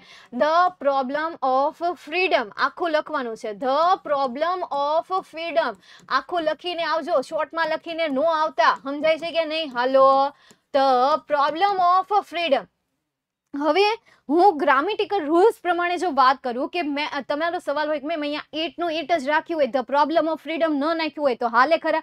તો ગ્રામેટિકલ રીતે એવું બિલકુલ પણ ન હાલે. તમારે પેરેગ્રાફમાંથી જ સવાલના જવાબ લખવાના છે. તો પ્રોપર લખો. આયટ્સમાં તો આવું બિલકુલ પણ ન હાલે. આયટ્સમાં કેવું આવે ખબર છે? એક પેરેગ્રાફ આપે, એની નીચે સવાલ આવે. એ એક પેરેગ્રાફ એક ન હોય. એ એક પેરેગ્રાફ આખા પેજ ન હોય. એ આખો પેરેગ્રાફ આપણે વાંચવાનો, પછી નીચે તમને બે સવાલ આપ્યા હોય, ત્રણ સવાલ આપ્યા હોય, ચાર સવાલ આપ્યા હોય, પાંચ સવાલ આપ્યા હોય એ પાંચ સવાલના જવાબ તમારે ઉપરથી શોધીને લખવાના. એમાંય ટાસ્ક આપે કે આવી રીતે શોધીને લખવાના છે. લિમિટેડ શબ્દમાં શોધવાના છે. લિમિટેડ શબ્દ આપણને આપી દે. બીજી કંઈક લિસનિંગની આવે ને એ પણ એવા પ્રકારની જ હોય. તમારી સામે એક પેરેગ્રાફ આપેલો હોય. એ પેરેગ્રાફમાં અમુક જગ્યાએ ખાલી જગ્યા આપેલી હોય. હવે જે આપણે જે સ્પીકર કરતો જે સ્પીકિંગ કરવાનું મતલબ કે જે લિસનિંગવાળી પ્રોસેસ આવે ને, એમાં આપણે સાંભળવાનું. કે એ ખાલી જગ્યામાં આવશે શું? આખરને આપણને આખા પેરેગ્રાફની સ્ટોરી બોલતા હોય. અને એ પણ અમેરિકન બ્રિટિશ લેંગ્વેજમાં બોલતા હોય. આપણે અત્યારે જે વાંચીએ છીએ ને, આપણે વેરી કોમ્પ્લેક્સ પ્રોબ્લેમ ના ના એ અમેરિકન બ્રિટિશ લેંગ્વેજમાં બોલતા હોય. તો એ શબ્દ તમારે ધ્યાનથી સાંભળવાનો, પછી એક શબ્દ તમારે એમાં મૂકવાનો. તો અહીંયા પણ એવી નાની મિસ્ટેક ન હાલે. પણ છતાં પણ જો તમને તમારી શાળામાં માર્ક્સ મળતા હોય તો એને લેટ ગો કહેવાય. શું કહેવાય? એને લેટ કહેવાય. એને એડજસ્ટમેન્ટ કહેવાય કે જે તમારું ચોથું ચેપ્ટર છે. ઠીક છે? ચાલો. નેક્સ્ટ એના પછીનો ક્વેશ્ચન જોઈએ. ઇઝ ધ પ્રોબ્લેમ ઓકે ચાલો, થઈ ગયો. નેક્સ્ટ એના પછીનો પેરેગ્રાફ બેઝ ક્વેશ્ચન આન્સર જોઈએ. Can all use in disposition as an excuse શું આપણે બધા ઇનડિસ્પોઝિશનનો એઝ અ એક્સક્યુઝ તરીકે યુઝ કરી શકીએ છીએ? તમારું નવમું યુનિટ કે જેનું નામ છે હેડેક માથાનો દુખાવો સર દર્દ. તો અહીંયા શું આન્સર આવશે? નો નો તમારે તમારને તમને જેમ સામેવાળી વ્યક્તિ પૂછતી હોય, એ રીતે આન્સર નથી આપવાનો. પાઠમાં જે રીતે આપ્યું હોય ને, એ રીતે આન્સર આપવાનો છે. સમજાય છે? પાઠમાં તમને શું કીધું છે કે ભાઈ, ના ના ના ના ના દરેક વ્યક્તિ આ એક્સક્યુઝ નથી આપવાના. કોઈ એવી વ્યક્તિ છે, જાણીતી એવી વ્યક્તિ છે અથવા તો થર્ડ પર્સન છે, તો એને જ આપવાના છે. તો અહીંયા આન્સર તરીકે શું આવશે? નો આન્સર આવશે. તો આપણે અહીંયા લખીએ નો તો no I can uh, sorry no all cannot use all can not use indisposition as an excuse. What would happen if a student uses indisposition as an accuse હવે એક્સક્યુઝ હવે શું થશે જ્યારે એક વિદ્યાર્થી ઇનડિસ્પોઝિશનનો એક્સક્યુઝ તરીકે યુઝ કરશે? તો અહીંયા તમને કીધેલું છે a school boy who says I am indisposition I want to be left of will have is a twisted for his precociousness તો આનો જવાબ તમારે બનાવવો પડશે. If a student if a student uses indisposition as an excuse uh, એજ અહીંયાથી આપણે કરીએ. હવે અહીંયા તમને સ્ટુડન્ટ આપેલું છે. એટલા માટે અહીંયા પણ શું આવશે? હિઝ આવશે. હવે ફોર એક્ઝામ્પલ એક્ઝામમાં આ સ્ટુડન્ટની જગ્યાએ સ્ટુડન્ટ્સ આપેલું હોય તો અહીંયા જે હિઝ આપેલું છે એ હિઝની જગ્યાએ શું આવશે? દેર આવશે. તો આના માટે પણ તૈયાર રહો. His ear twisted for his precociousness ફરી એક વખત. If a student uses in this position as an excuse comma coma, his ear twisted for his precociousness કે ભાઈ એને તેના જે કાન છે એ કાનને ટ્વિસ્ટ કરવામાં આવશે તેને પનિશમેન્ટ આપવામાં આવશે. અથવા તો હી પનિશ્ડ તેને શું કરવામાં આવશે? હી વુડ પનિ સોરી અહીંયા પ્રેઝન્ટ ફોર્મ છે ને તો હી વિલ પનિશ અથવા તો હી પનિશિશ અથવા તેને પનિશ મતલબ કે તેને પનિશ મળશે તેને સજા મળશે. Sorry he is punished he is punished આ રીતે બનાવી નાખો. બીજો એક આન્સર બનાવો. તમારી જાતે તમારે આન્સર બનાવો છે. તો આ રીતે બનાવો. હી ઇઝ પનિશ્ડ કે ભાઈ તેને શું મળવી જોઈએ? સજા મળવી જોઈએ. આ તમારો સેકન્ડ આન્સર અહીંયા કોમા કરીને આ પણ લખી શકો અથવા તો અહીંયાથી જે મેં કીધું, એ પણ તમે એડ કરી શકો. હી વુડ બી પનિશ બીજું અહીંયા ઇઝની જગ્યાએ વુડ બી આપણે એડ કરી દઈએ કે હી વુડ બી પનિશ અથવા he will B પનિશ would be પનિશ નહીં આવે, will બી પનિશ આવશે. વાય કારણ કે અહીંયા તમને uses આપેલું છે. And uses is a present form તો ઇફ પછીનું બીજું જે સેન્ટેન્સ આવશે, એ સેન્ટેન્સ કયા ફોર્મમાં આવશે? પ્રેઝન્ટ ફોર્મમાં આવશે. એટલા માટે વિલ બી આવશે. કાં તો પછી આ તમારે એડ કરવાનું છે હી ઇઝ પનિશ્ડ અથવા he will be punished okay clear he likely to be punished to be punished મતલબ કે આવી અભદ્ર વાત અભદ્રતા માટે અથવા તો આવી સાહસ માટે દુસ્સાહસ માટે, આવા દુસ્સાહસ માટે, આવ્યા સાહસ માટે ઓકે ચાલો. તો આખો આન્સર તો થઈ ગયો. If a student uses in disposition as an accuse અહીંયાથી હીને ઉતારી દો હી વિલ બી પનિશ અહીંયા કોમા પછીનું સેન્ટેન્સ મેં અહીંયા લખેલું છે. જે બે ઓપ્શનમાં છે ને, એ ઓપ્શનમાં ઓકે વર્ષા? નેક્સ્ટ એના પછીનો ક્વેશ્ચન જોઈએ. How did world convert his misfortunate misfortune in a advantage તેણે તેના નસીબને, જે બદનસીબ હતા, એ નસીબને એને લાભમાં કઈ રીતે ફેર મિસફોર્ચ્યુનેટ તો આપણે ન કહીએ પણ સદ્ધરતા કહીએ આપણે. એને મતલબ કે વધારે પડતું હાવ મિસફોર્ચ્યુન પણ ન કહીએ, તો એના માટે બીજો વર્ડ છે જ તે. એણે એના લાભમાં કઈ રીતે ફેરવ્યું એ તમારે કહેવાનું છે. તો being solvent for his first time since started in business gave Walt a chance to develop other ideas this include the development of my a mineral kind uh, California Institute of Art for which donated the land several millions dollar and most ambitious of all and 100 dollar Disney World and City of Tomorrow. તો અહીંયા એ કહે છે મતલબ કે એવું તો કઈ વસ્તુ મતલબ કે એને કેવી રીતે કન્વર્ટ કર્યું એના ભાગને એડવાન્ટેજીસમાં કઈ રીતે કન્વર્ટ કર્યું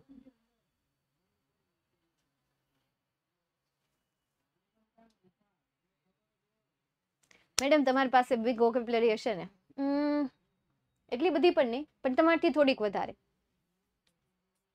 સ્ટાર્ટ ન્યૂ બિઝનેસ કે ઇન્વેસ્ટિંગ ઇન્વેસ્ટમેન્ટ થ્રુ ઇન્વેસ્ટમેન્ટ એ શબ્દ એડ કરીએ. થ્રુ ધ ઇન્વેસ્ટમેન્ટ ચાલો, જોઈએ આપણે હવે.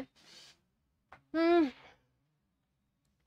તો Walt Walt included the development of mineral kind. ની જગ્યાએ એને ડેવલપ કર્યા અધર આઈડિયાઝને ડેવલપ્ડ અધર આઈડિયાઝ તેણે અધર આઈડિયાને શું કર્યા? ડેવલપ કર્યા. આ આન્સર લખવાનો છે. આખો આન્સર શું બનશે? How did Walt convert his misfortune in advantages તો વોલ્ટ કન્વેટેડ અહીંયા ઈડી લગાવી દઈએ, કારણ કે અહીંયા ડીડ આપેલું છે. તો ક્રિયાપદનું કેવું થઈ જશે?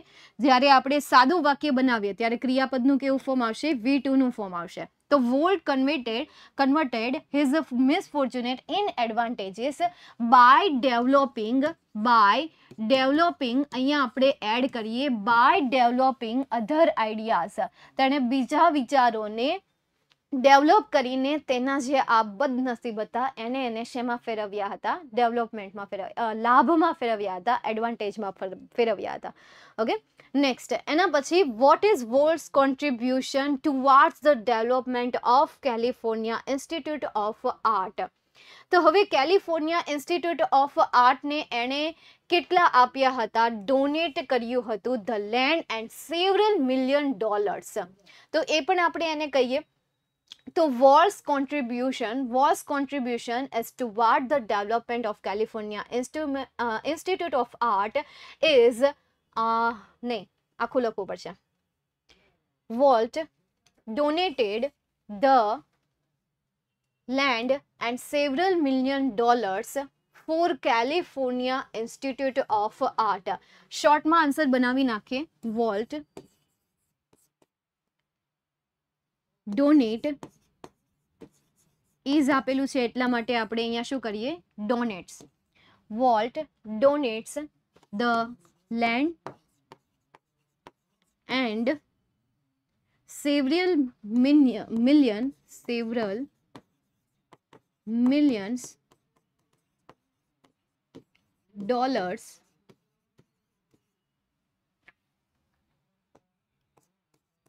in California અથવા તો for California Institute of Art. બરાબર? આ થઈ ગયું તમારો શોર્ટ આન્સર. હોર્સનું બનાવ્યું હતું ને? હા, હોર્સ જ બનાવ્યું હતું. બીજું કંઈ બનાવ્યું હતું? Donated the land and several for Walt's California Institute of Art he donated the land and several million dollar હા, આ પણ ચાલે કે તમે ફોરને ઉપાડીને અહીંયા મૂકી દો. અને અહીંયા જે આઈ આપેલું હતું એ આઈની જગ્યાએ હી કરી નાખો વિચ કાઢી નાખો. આ ફોર જે છે એ ફોરને ઉપાડીને આગળ. For a California Institute of Art he donated the land and several million dollars એમાં ને એમાં સેન્ટેન્સ બનાવવું હોય તો આ રીતે પણ તમે એમાં સેન્ટેન્સ બનાવી શકો છો. ઓકે હા સેકન્ડ સેન્ટેન્સ કરેક્ટ છે. એના પછીનું જોઈએ. શોર્ટ નોટ આપી દીધી. વાવ, બાર ક્વેશ્ચન પૂરા થઈ ગયા. શોર્ટ નોટ હવે તમને ત્રણ માર્ક્સમાં જે પૂછાશે. પહેલાં તમને છ માર્ક્સમાં પૂછાતી હતી, હવે ત્રણ માર્ક્સમાં પૂછાશે. અહીંયા નાના અને નાનીની સેમ શોર્ટ નોટ પૂછાણી છે, પરંતુ એનું ટાઇટલ કેવું આપ્યું છે? Interaction between Nana and Nani as observe by the writer નાના અને નાની વચ્ચેની જે ચર્ચા છે ચર્ચાને અહીંયા તમારે અહીંયા શું કહેવાની છે? ભાઈ ડિસ્ક્રાઇબ કરી દેવાની છે, અથવા એના વિશે વાત કરવાની છે? સવાલ વાંચો. સવાલ તો છે જ નહીં, તેલ પીવા ગયા, આપણે જવાબ વાંચીએ. જવાબ તો સેમ છે કે જે પહેલાં મેં તમને એક્સપ્લેન કર્યા હતા, એના એ જ સવાલ છે. જોઈએ આપણે. Here writer express his feeling about Nana and Nani, નાના અને નાનીની એ ફિલિંગ અહીંયા એક્સપ્રેસ કરે છે. So many incident he describe here ઘણા બધા ઇન્સિડન્ટ અહીંયા ડિસ્ક્રાઇબ કરવામાં આવ્યા છે. Nana and Nani live for over half a century together અડધી સેન્ચુરી કરતાં પણ વધારે એ એકબીજા સાથે રહી ચૂક્યા છે.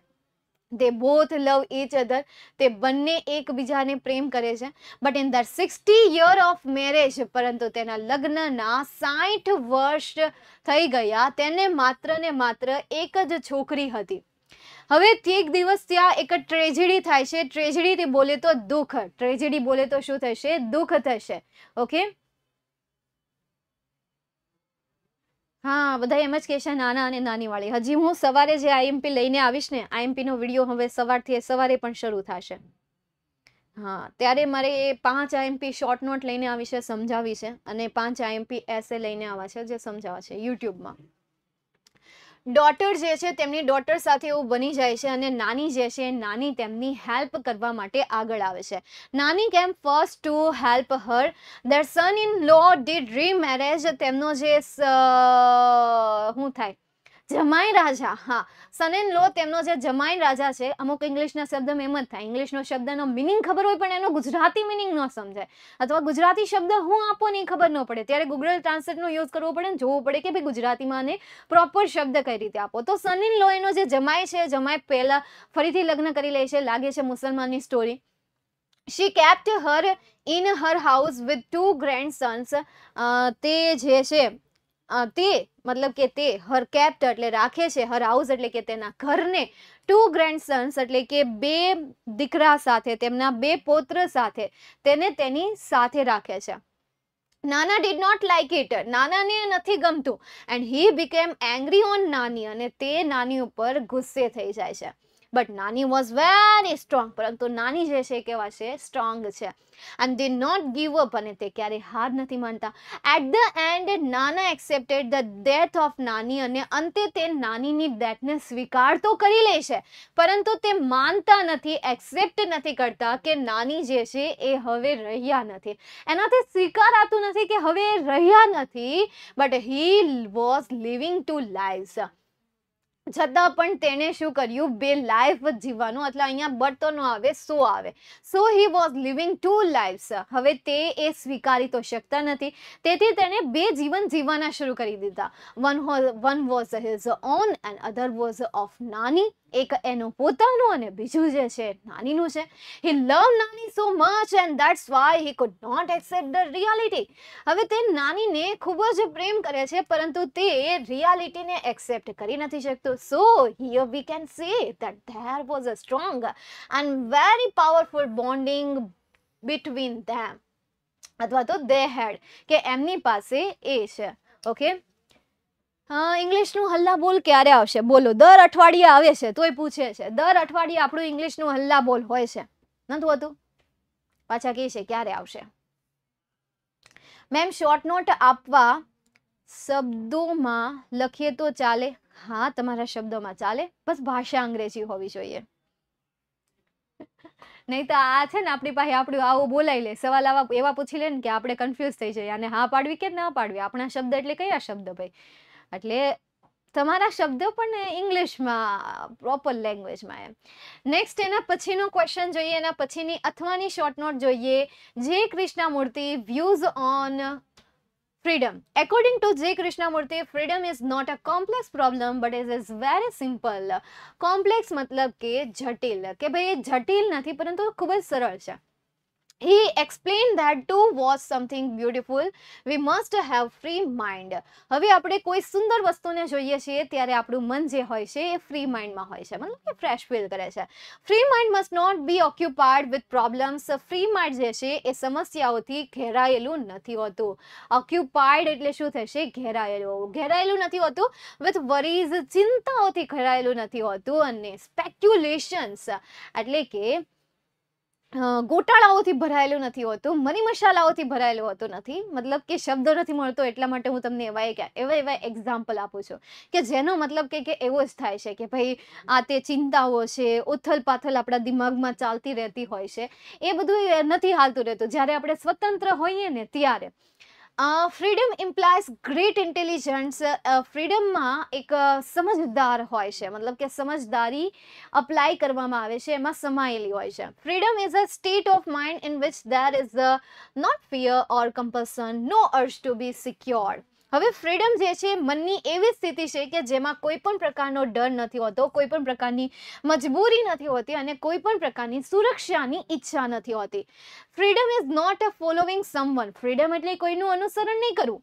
The function of education is to help us from childhood not to imitate anybody but to be ourselves all the time.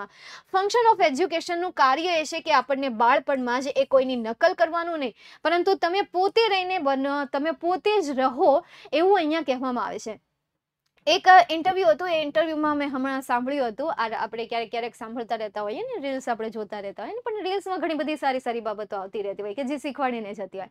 એણે કહ્યું કે સવાલ પૂછ્યો હતો કે ભાઈ, ચાર યુગને તમે એક શબ્દમાં એક્સપ્લેન કરો. એમાંનો મને ખાલી કળયુગનો શબ્દ યાદ છે અને બીજા બે શબ્દ યાદ છે, પણ એક્ઝેક્ટ નથી યાદ કે દ્રાપરમાં કહ્યું હતું, સતયુગમાં કહ્યું હતું, પણ કળયુગનું કહ્યું હતું.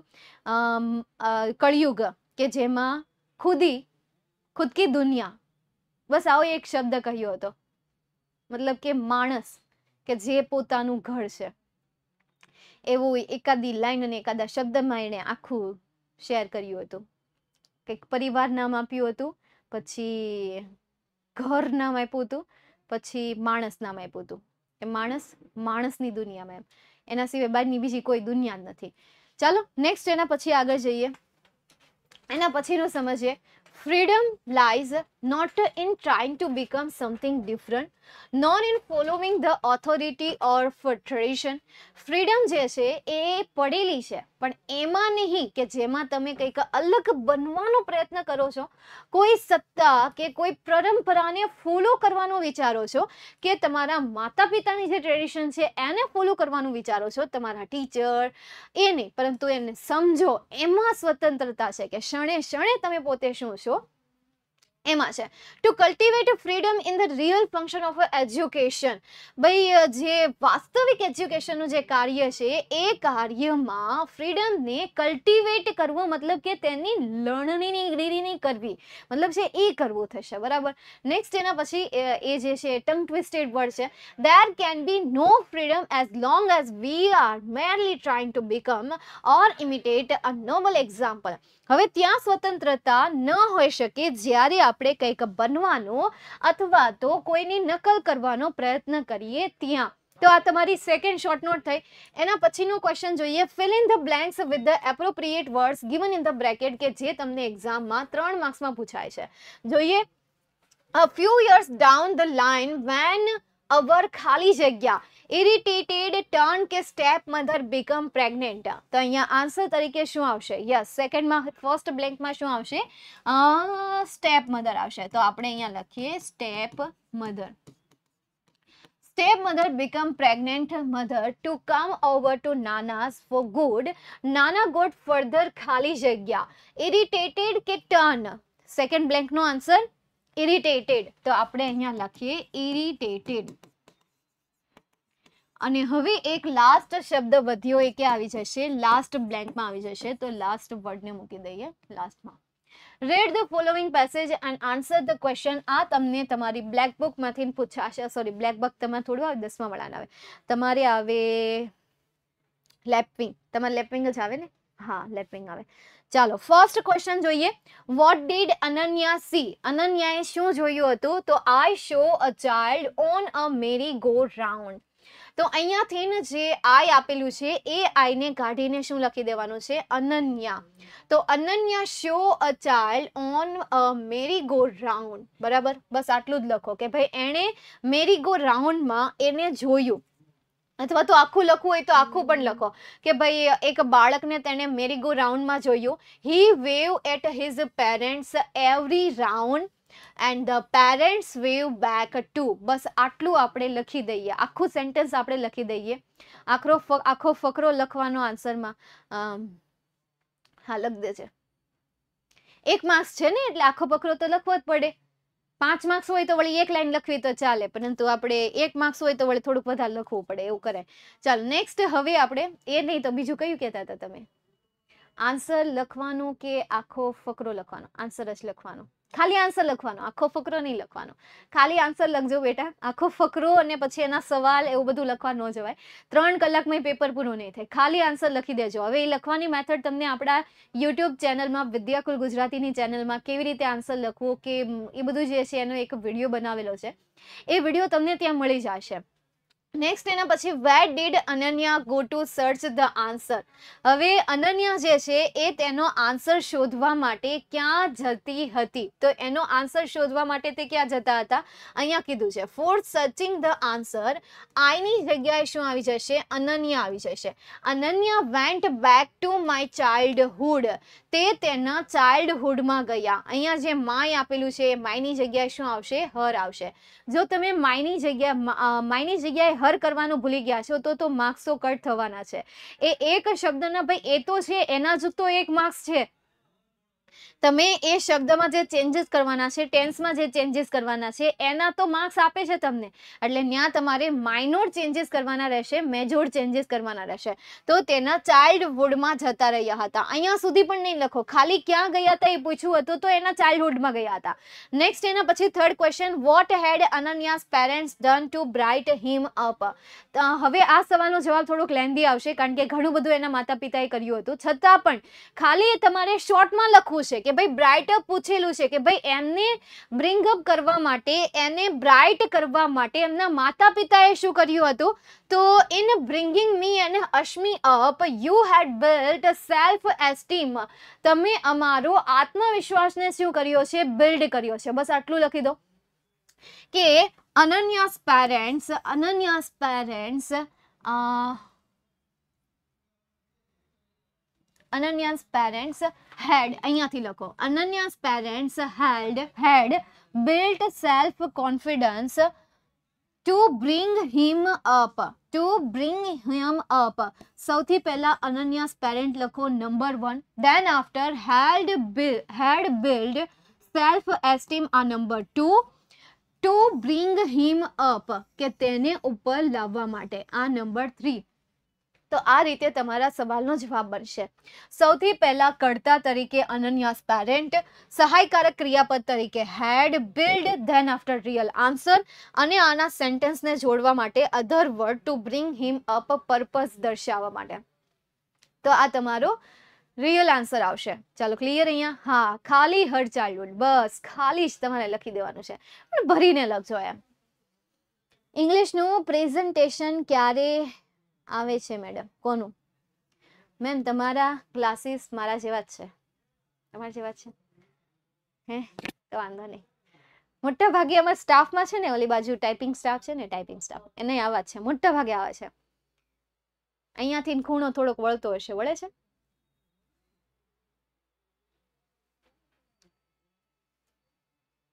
હા, બસ. તમારી સેવા છે. ચાલો નેક્સ્ટ એના પછી આગળ જઈએ.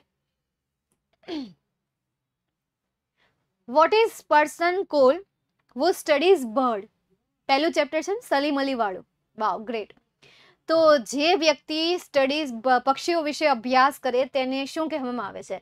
તો આમાં તો ખાલી થર્ટી સેવન થર્ટી એટ કરીને જે આવતું હોય ને, એ લખી નાખીએ તોય હાલે એને શું કહેવાય એને?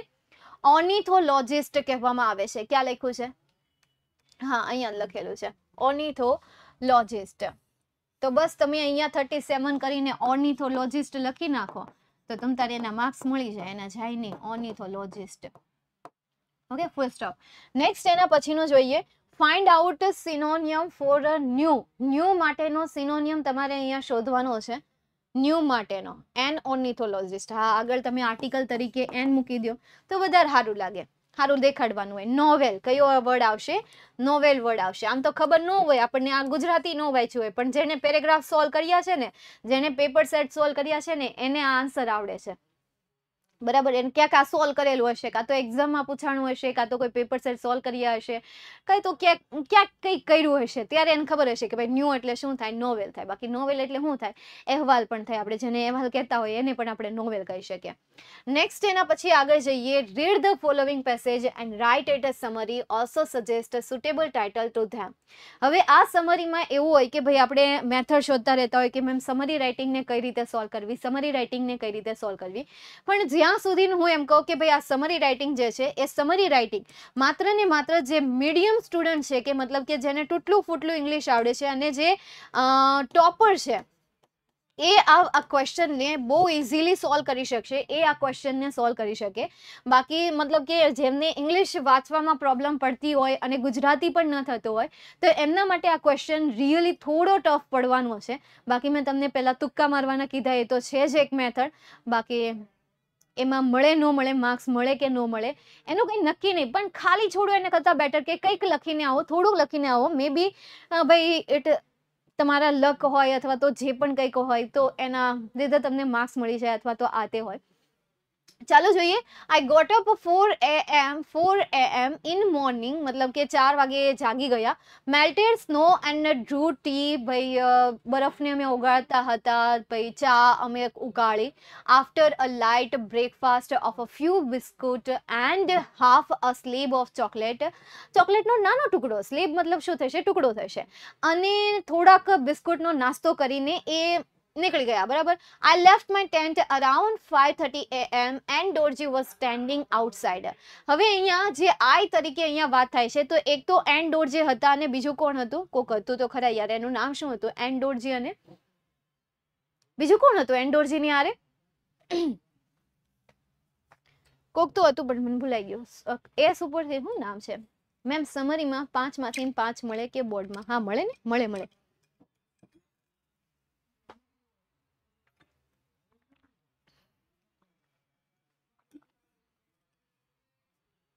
એક નામ હતું ભૂલી ગયું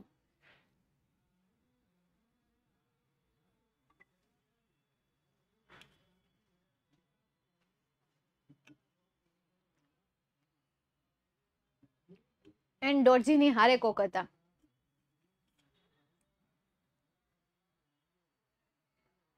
નવનીતની જેમ કોપી કરવું પડે ના ના જાતે કેમ આપણે એસે બનાવીને લખતા હોય શોર્ટ નોટ બનાવીને લખતા હોય? એવી રીતે આનું એનાલાઇઝ કરવાનું. મૂવી જોવા જઈએ મૂવી આપણે એક્સપ્લેન કરતા હોય, કઈ રીતે કરતા હોય? આપણી ભાષામાં કરતા હોઈએ ને, તો એ સામેવાળી વ્યક્તિ સમજી જાય છે. બસ એવું લખો કે સામેવાળી વ્યક્તિ આનો સારાંશ સમજી જાય. બસ, બીજું કાંઈ નહીં. અને ટાઇટલ હોય ટાઇટલ થોડાક સોલ્વ કરીને જોઈ લેવાના.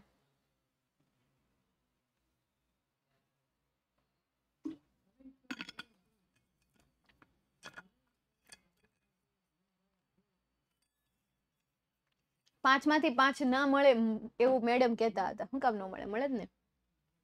આમની થોડા બધા સત્તાણું અઠ્ઠાણું આવતા હોય. પાંચમાંથી પાંચ ન આપ્યા હોય તો. બે માર્ક્સ કટ થયા હોય તો શું કાંઈ એમાંથી નથી થયા હશે? રાઇટિંગમાંથી કટ નહીં થયા હોય? એ બે માર્ક્સ આપણે ખાલી એ જ વિચારું ને કે ક્યાં કટ થયા હશે? જો પાંચમાંથી પાંચ એમાં ન આપ્યા હોય તો એસએમાં તો આપ્યા છે ને આઠમાંથી આઠ? કાંઈ એપ્લિકેશનમાં છમાંથી છ આપ્યા હશે? કાંઈ ઈમેલ રાઇટિંગમાં પાંચમાંથી પાંચ આપ્યા હશે? ભાઈ, આ કેટલા ટોપિક છે તમારી પાસે? જો ઇન્ફોર્મેશન ટ્રાન્સફર છે ઈમેલ છે એસે છે. દેન આફ્ટર તમારી પાસે એપ્લિકેશન છે સમરી રાઇટિંગ છે શોર્ટ નોટ છે, છ ટોપિક છે. હવે બે માર્ક્સ ઘટ્યા છે, તો એ બે માર્ક્સ ક્યાં ઘટ્યા હશે? આ છ માંથી એકાદામાં તો ઘટ્યા હશે ને? એટલે ભાઈ રહેવા દો મારી જેવા અક્ષર કરવા હોય, આ મારો અનુભવ છે બેટા. બરાબર? આ મારો અનુભવ છે. અનુભવને આધારે અક્ષર કોઈકના સારા થતા હોય, કોઈકની મેન્ટાલિટી ઉપરથી અક્ષર સારા થતા હોય, બધાને અલગ અલગ હોય. કોઈકને ડ્રોઈંગથી અક્ષર સારા થતા હોય. કોઈ એમ કહેતું હોય, ભાષણ આપતું હોય કે ડ્રોઈંગ કરવાથી અક્ષર સારા થઈ જાય અથવા તો આ કરવાથી અક્ષર સારા થઈ જાય. અક્ષર જે છે એ મનની સ્થિતિ છે. જેવી રીતે સ્વતંત્રતા મનની સ્થિતિ છે, આપણે પાઠમાં ભણી ગયા ફોર યુથના પાઠમાં, કે સ્વતંત્રતા મનની સ્થિતિ છે, તો સેમ એવી રીતે અક્ષર જે છે, અક્ષર પણ મનની સ્થિતિ છે. વિચારો કે અક્ષર સારા થાય છે, તો અક્ષર સારા થવાના છે. વિચારશો અક્ષર ખરાબ થશે. તો સુધરતા જ નથી. આ તે ફલાણું પૂછવું ઢીકણું. તો અક્ષર ક્યારેય સારા ન થવાના? ચાલો, હા, એવું જ છે કંઈક. નેક્સ્ટ એના પછી આગળ જઈએ. તો એન ડોરજી જે છે બહાર ઊભા હતા. He was going to climb without oxygen હવે ઓક્સિજન વગર તે ચડવા માટે ચડી ગયા કે ભાઈ, હાલો, આપણે હવે આ પર્વતને આપણે ચડીએ. આ Ang Dorji but because of this his feet would get very cold આના કારણે તેના પગ જે હતા, એ ઠંડા પડી ગયા હતા. Wanted to avoid long exposure at height તેણે લાંબો આટો મારવાનું અથવા તો લાંબુ આમ તેમ ફરવાનું અથવા તો જે એક્સપોઝર કરવાનું, નિહાળવાનું એને શું કર્યું? એને ટાળી દીધું. અને રાત્રિએ સુમિટ કેમ્પ ઉપર રોકવાનું પણ ટાળી દીધું. કારણ કે જો એવું કરે, તો ભાઈ એની પાસે પીક એવરેસ્ટ કાં તો, જો એવું કરે, તો એની પાસે એ બે રસ્તા રહે કાં તો એવરેસ્ટ જવાનું, કાં તો પછી એને સાઉથ કોલના પાછું જવાનું આવે. એ દિવસે જ પાછું જવાનું. છોડી દેવાનું. એ અટેમ્પને છોડી દેવાનું, ત્યાગી દેવાનું. He was keen to start immediately and ask me if I would like to go with him. તે તરત જ તેને એની શરૂઆત કરી દેતા અને મને કહેતા કે, ભાઈ, તારે આવવું હોય તો મારી સાથે તું આવ. Going to the top from the South Col and back in a day would be tough હવે એક જ દિવસમાં સાઉથ કોલ તરફ જવું અને ત્યાંથી પાછું આવવું એ ખૂબ જ અઘરી વસ્તુ છે. But I had full confidence in એન્ગડોર્જી as well as in my stamina and climbing capability પરંતુ મને એંગ ડોર્જીમાં પૂરેપૂરો વિશ્વાસ હતો. જેવો મને મારી તાકાત અને મારી કેપેબિલિટી ઉપર છે, એટલો જ વિશ્વાસ મને એંગ ડોર્જીમાં હતો. તો આખા પેરેગ્રાફની સ્ટોરી વાંચી, આખા પેરેગ્રાફનું ગુજરાતી કર્યું, તો હવે હું એનું સારાંશ કરી શકે છે હવે એનું સારાંશ કરવા માટે આમાંથીનો જ હું સેન્ટેન્સ યુઝ કરીશ, જે સિન્થેસાઇઝનું ગ્રામર હું ભણીશું, એ ગ્રામરનો જ હું યુઝ કરીશ અને એનો યુઝ કરીને હું આ સમરાઇઝિંગ બનાવીશ. જેમ કે સવારે પાંચ વાગે જાગ્યા એંગ ડોરજી સાથે મળ્યા. એણે સુમિટ ચડવાની શરૂઆત કરી without any oxygen Ang Dorji જે છે એ કોઈ પણ વસ્તુને નિહાળતા નહીં, ત્યાં બ્રેક લેતા નહીં. જો એ બ્રેક લે, તો એને કાં તો ત્યાં જવું પડે, કાં તો એને પાછું આવવું પડે. અને મને તેના ઉપર પૂરેપૂરો વિશ્વાસ હતો. જે રીતે મને મારી કેપેબિલિટી ઉપર, જે રીતે મને મારી તાકાત ઉપર વિશ્વાસ છે ને, એ રીતે મને પણ એમાં પૂરેપૂરો વિશ્વાસ હતો. ફરીથી આઈ રિપીટ આ સારાંશ થયો. સાડા પાંચ વાગે એ અને એંગ ડોરજી બહાર નીકળ્યા. પહેલું સેન્ટેન્સ સાડા પાંચ વાગે આઈ એન્ડ એંગ ડોરજી બંને બહાર નીકળ્યા. એન્ડ ડોરજી ક્લાઇમ્બ કરતા હતા એ જે સુમિટ છે, સુમિટને ક્લાઇમ્બ કરતા હતા, વિધાઉટ એની ઓક્સિજન, ઓક્સિજનનો યુઝ કર્યા વગર બીજું સેન્ટેન્સ. તેની પાસે બે જ ઓપ્શન હતા, કાં તો એ દિવસમાં સુમિટને સર કરવો, કાં તો એને છોડીને પાછું કેમ્પ ઉપર ચાલ્યું જવું. આ જ એનો ગોલ હતો. મને તેના ઉપર પૂરેપૂરો વિશ્વાસ હતો જેટલો મને મારી સ્કિલ ઉપર છે, જેટલો મને મારી તાકાત ઉપર વિશ્વાસ છે, એટલો જ મને એના ઉપર વિશ્વાસ હતો. ચાર સેન્ટેન્સ થઈ ગયા. બસ આ ચાર સેન્ટેન્સ હવે ગોતીને લખી નાખો અહીંયા. I and and Dorji left tent at around five thirty A M this your first sentence and Dorji was going to climb without oxygen આ તમારું બીજું sentence and because of these his feet would very cold ભાઈ, એના પગ જે હતા એ cold થઈ ગયા. એ લખવું હોય તો, નહીં તો પછી આ રીતે લખો. He wanted to avoid long exposure at night and at summit camp બરાબર? આ તમારું થર્ડ સેન્ટેન્સ આ તમારું third sentence he either go get to the peak of Everest and back to the South Col same day or abandon the attempt અથવા તો બસ આટલું જ તેમ. સેમ ડે તો આ તમારું ચોથું sentence I had a full confidence in and Dorji as well as in my stamina and climbing capability આ તમારું પાંચમું સેન્ટેન્સ કોઈ પણ પેરેગ્રાફ આપેલા હોય, એ પેરેગ્રાફમાંથી પાંચ અથવા તો ચાર એવા સેન્ટેન્સ કાઢો કે જે સેન્ટેન્સને તમે સારાંશ તરીકે લખી શકો. તો હું પાંચ વાગે જાગી. એંગ ડોરજી એ ક્લાઇમ્બ કર્યું ઓક્સિજન વગર he always wanted to avoid long exposure at heights and a night at the summit camp. He has only two options either get to the peak of Everest. He only has a two option. તો આ મેં add કર્યું તો આવા આવા નાના નાના શબ્દ એડ કરો અને આ રીતે તમે સેન્ટેન્સ બનાવો and I have, I had full confidence in Angdorji as well as in my stamina and climbing capability. તો પાંચ સેન્ટેન્સ લખી નાખો, જેમ તમારે લખવા છે એમ. અથવા તો જે રીતે તમે કહો છો કે ભાઈ નવનીતનો આન્સર બેઠો બેઠો છાપી દેવાનો. તો નવનીતનો આન્સર વાંચો સાડા પાંચ વાગે. જાગ્યા ક્લાઇમ્બિંગ કર્યું વિધાઉટ એની ઓક્સિજન બરાબર? અને એના કારણે એના પગ ઠંડા પડી ગયા. તેથી તે લોંગ એક્સપોઝરને એવોઇડ કરતા હતા. રાત્રિમાં સુમિત કેમ્પ ઉપર રહેવાનું પણ એવોઇડ કરતા હતા. હવે એની પાસે બે રસ્તા હતા. કાં તો એ ટોપ ઉપર પહોંચે, કાં તો એ પાછા આવશે. છતાં પણ બચેન્દ્રી હેડ ફૂલ કોન્ફિડન્સ જો, એની સામે એંગડોરજી સામે કોણ હતા? બચેન્દ્રી પાલ હતા. આઈ તરીકે કોણ છે? બચેન્દ્રી પાલ છે. એને પૂરેપૂરો કોન્ફિડન્સ હતો એંગ ડોરજીમાં અને એની જે તાકાત છે, એ તાકાતમાં પણ પૂરેપૂરો કોન્ફિડન્સ હતો, તેણીની પોતાની. તો આમાં પણ સેમ પાંચ સેન્ટેન્સ એમણે એડ કરેલા છે. તો તમે આ રીતે પાંચ સેન્ટેન્સનો યુઝ કરીને લખી દો. હવે આમાં જે અલગ અલગ શબ્દો યુઝ કરીને એને પેરેગ્રાફ લખ્યો છે સોનો યુઝ કર્યો છે ધેટનો યુઝ કર્યો છે એન્ડનો યુઝ કર્યો છે. તમને આવડે છે, તમને ફાવે છે, તો યુઝ કરો. નથી આવડતું, નથી ફાવતું, તો લખીને આવો. ટ્રાય કરો જેટલું લખાય એટલું. હવે આનું ટાઇટલ શું છે? ગેધરિંગ કોન્ફિડન્સ અથવા તો ખાલી કોન્ફિડન્સ અથવા તો goal to achieve goal goal achieve to goal અથવા તો goal of summit goal of summit arriving summit અથવા તો બસ આ. સુમિટનું લખી દો. ક્લાઇમ્બિંગ લખી દો. અ ટફ ટાસ્ક લખી દો. સમરી રાઇટિંગ છે એ વધુ ને વધુ તમારું દસ મિનિટમાં અથવા દસ મિનિટની અંદર પૂરું થઈ જવું જોઈએ. આને વધારે સમય નહીં આપતા. દસ મિનિટ, દસ મિનિટની અંદર પૂરું થઈ જવું જોઈએ. એના માટે ડેઈલી તમે બે પેરેગ્રાફ સોલ્વ કરો. ડેઈલી તમે બે સમરી લો. બે સમરીને સોલ્વ કરો. એનું ગુજરાતી કરો.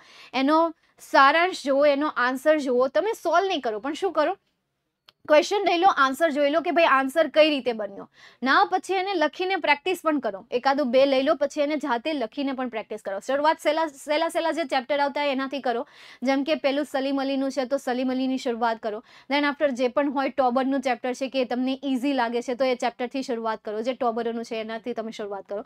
તો ઇઝી ઇઝી જે ચેપ્ટર છે કે જેનું ગુજરાતી કરવું સારું લાગે છે માનસીવાળું ચેપ્ટર છે, તો એ ચેપ્ટરના જે ગુજરાતી સહેલા છે, એ ચેપ્ટરના સમરી રાઇટિંગ લો અને એ સમરી રાઇટિંગને પહેલાં સોલ્વ કરો. ડેલી પ્રેક્ટિસ કરવાથી તમે એમાં માસ્ટર બનશો. એકવાર પ્રેક્ટિસ કરવાથી અથવા તો એકવાર જોવાથી ક્યારેય પણ એમાં માસ્ટરી નહીં મળે. મારે પણ આ પેરેગ્રાફને સોલ્વ કરવામાં અથવા તો સમરીને શીખવા માટે પણ મારે પણ સમય લાગ્યો હતો. ક્લાસમાં તો હું તમને સમજાવતી, પણ બેકેન્ડમાં હું પાછી બીજી બે ત્રણ સમરીને સોલ્વ કરતી, જેટલી પણ મને મળતી એટલી હું સોલ્વ કરી કે જેથી કરીને આમાં હું પોતે માસ્ટર બનું અને પછી હું તમને સમજાવું. એટલે આ એક જે છે અન્ડરસ્ટેન્ડિંગ ઉપર છે નોલેજ ઉપર છે, આ તમારી સ્કિલ ઉપર છે એબિલિટી ઉપર છે, આમાં કોઈ તુક્કા નહીં ચાલે. નેક્સ્ટ એના પછી ન્યૂઝ ક્લિપિંગની વાત કરીએ. હવે જે ન્યૂઝ ક્લિપિંગ આપેલી છે, એ એન્યુઅલ મ્યુઝિક મ્યુઝિક ફેસ્ટિવલની આપેલી છે.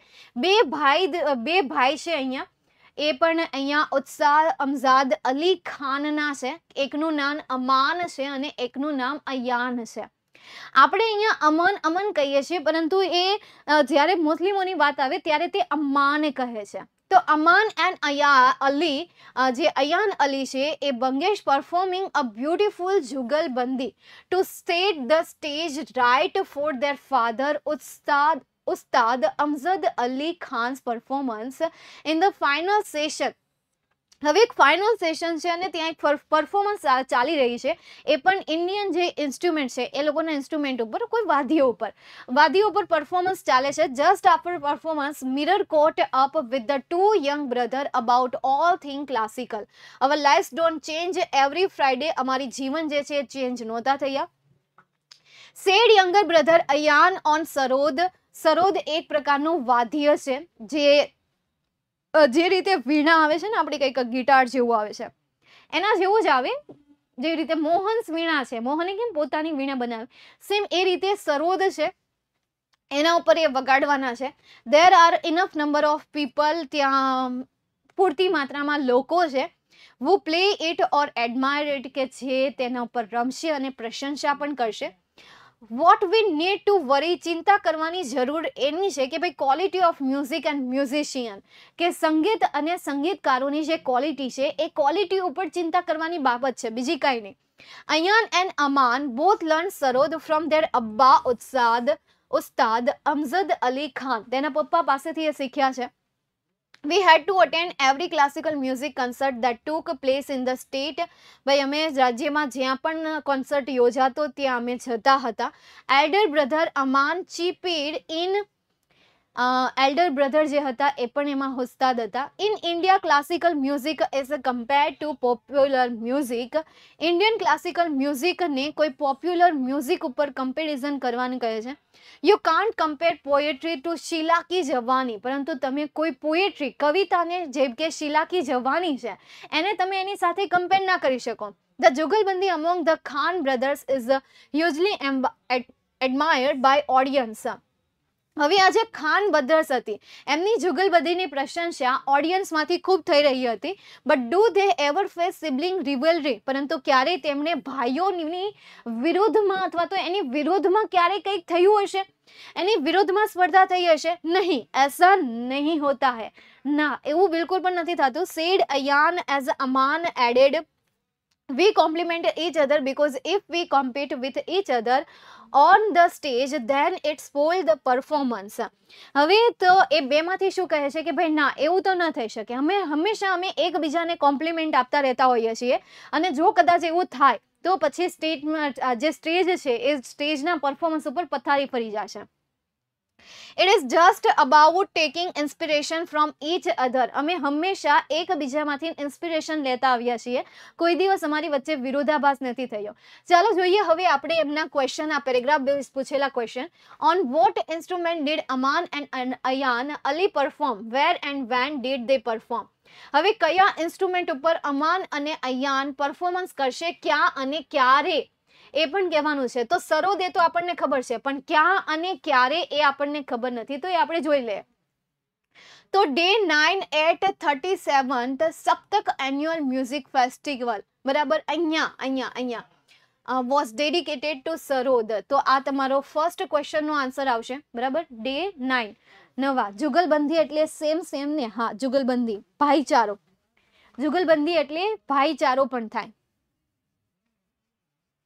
મેડમ ટ્વેન્ટી ફોરમાં હાઈએસ્ટ માર્ક્સ ઇન ઇંગ્લિશ જોઈશું હવે એક્ઝામ ક્યારે આવે, પછી જાય રિઝલ્ટ આવે ત્યારે ખબર પડે second who is Aman and Ayan's father? What is he famous as?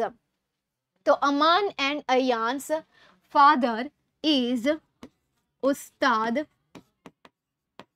Ali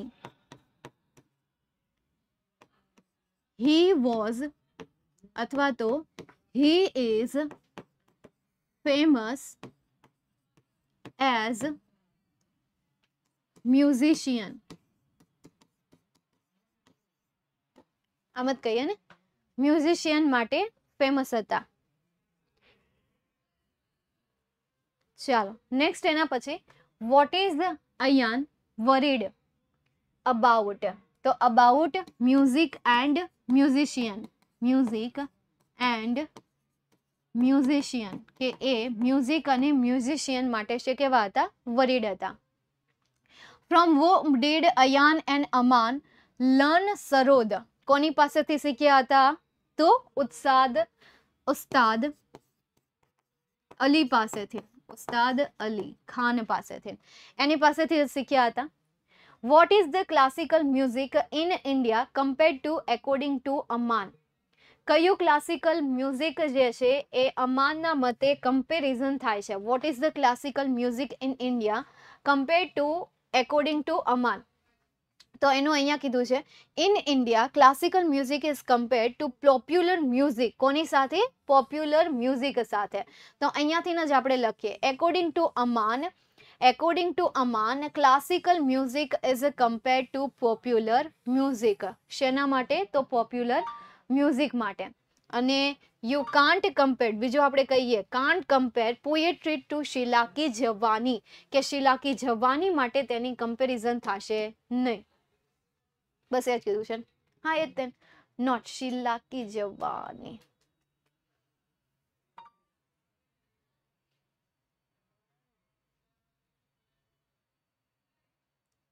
ના, સોહન બેટા. પંચ્યાસી અપમાર્ક્સ નહીં આપતા, તમે ખોટું સાંભળ્યું છે. નેક્સ્ટ એના પછી આગળ જઈએ. સ્ટાન્ઝા બેઝ ક્વેશ્ચન હવે તમને એ છ માર્ક્સમાં પૂછાશે. પહેલાં તમને પાંચ માર્ક્સમાં પૂછાતા હતા, હવે છ માર્ક્સમાં પૂછાશે. પહેલો question what was the poet poet કોણ હતા? તો poet was a fashioner of sword તો આઈ આપેલું છે, એ આઈની જગ્યાએ શું લખી દેવાનું છે? પોએટ લખી દેવાનું છે. Poet was a fashioner of swords which words mean to glow in the stanza હવે સ્ટાન્ઝામાં કયા એવા શબ્દ છે કે જેનો મતલબ ગ્લો થશે? તો glitter, gleam and shone. What is the poet brimming with હવે શેની માટે શેનાથી? તો આઈની જગ્યાએ શું આવશે? પોએટ પોએટ એમ આપેલું છે, એની જગ્યાએ ઇઝ આવશે. Poet is brimming with the silence of the lord આ તમારા થર્ડ ક્વેશ્ચનનો answer first ક્વેશ્ચનનો answer shone gleam and glitter and then after જે ફર્સ્ટ ક્વેશ્ચન છે, એમાં તમારું આવડું આ ફેશનર ઓફ સ્ટોર્ડ આન્સર આવશે. ચાલો ક્લિયર અહીંયા સુધી. નેક્સ્ટ એના પછીનો ક્વેશ્ચન જોઈએ. આગળનો આપણે જોઈએ stanza base question which word means attire dress from the robe of whites હવે ડ્રેસ એટલે આ ત્રણ આ જે શબ્દ આપેલા છે, એ શબ્દમાંથી કયો શબ્દનો મતલબ ડ્રેસ થશે? તો રોબ્સ એટલે શું થશે? ડ્રેસ થશે. તો robes means dress. How does it look at horizon? હવે હોરિઝનમાં તે જે છે, એ કેવું દેખાશે એ તમારે અહીંયા કહેવાનું છે. How does it look at horizon? હોરિઝનમાં તે કેવું દેખાશે? તો મોર્નિંગ ડ્યુઝવાળું આપણે લખીએ અથવા તો કામ એન્ડ સિરિમ દેખાશે. ના, કામ અને સિરિમય નહીં દેખાય. હોરિઝન એટલે શું થાય? Earth and sky are meeting આજે આપણે લખીએ ને it look like a horizon તો where earth and sky are meeting અહીંયાથી. Where earth and sky are meeting it look at horizon એ જ ને?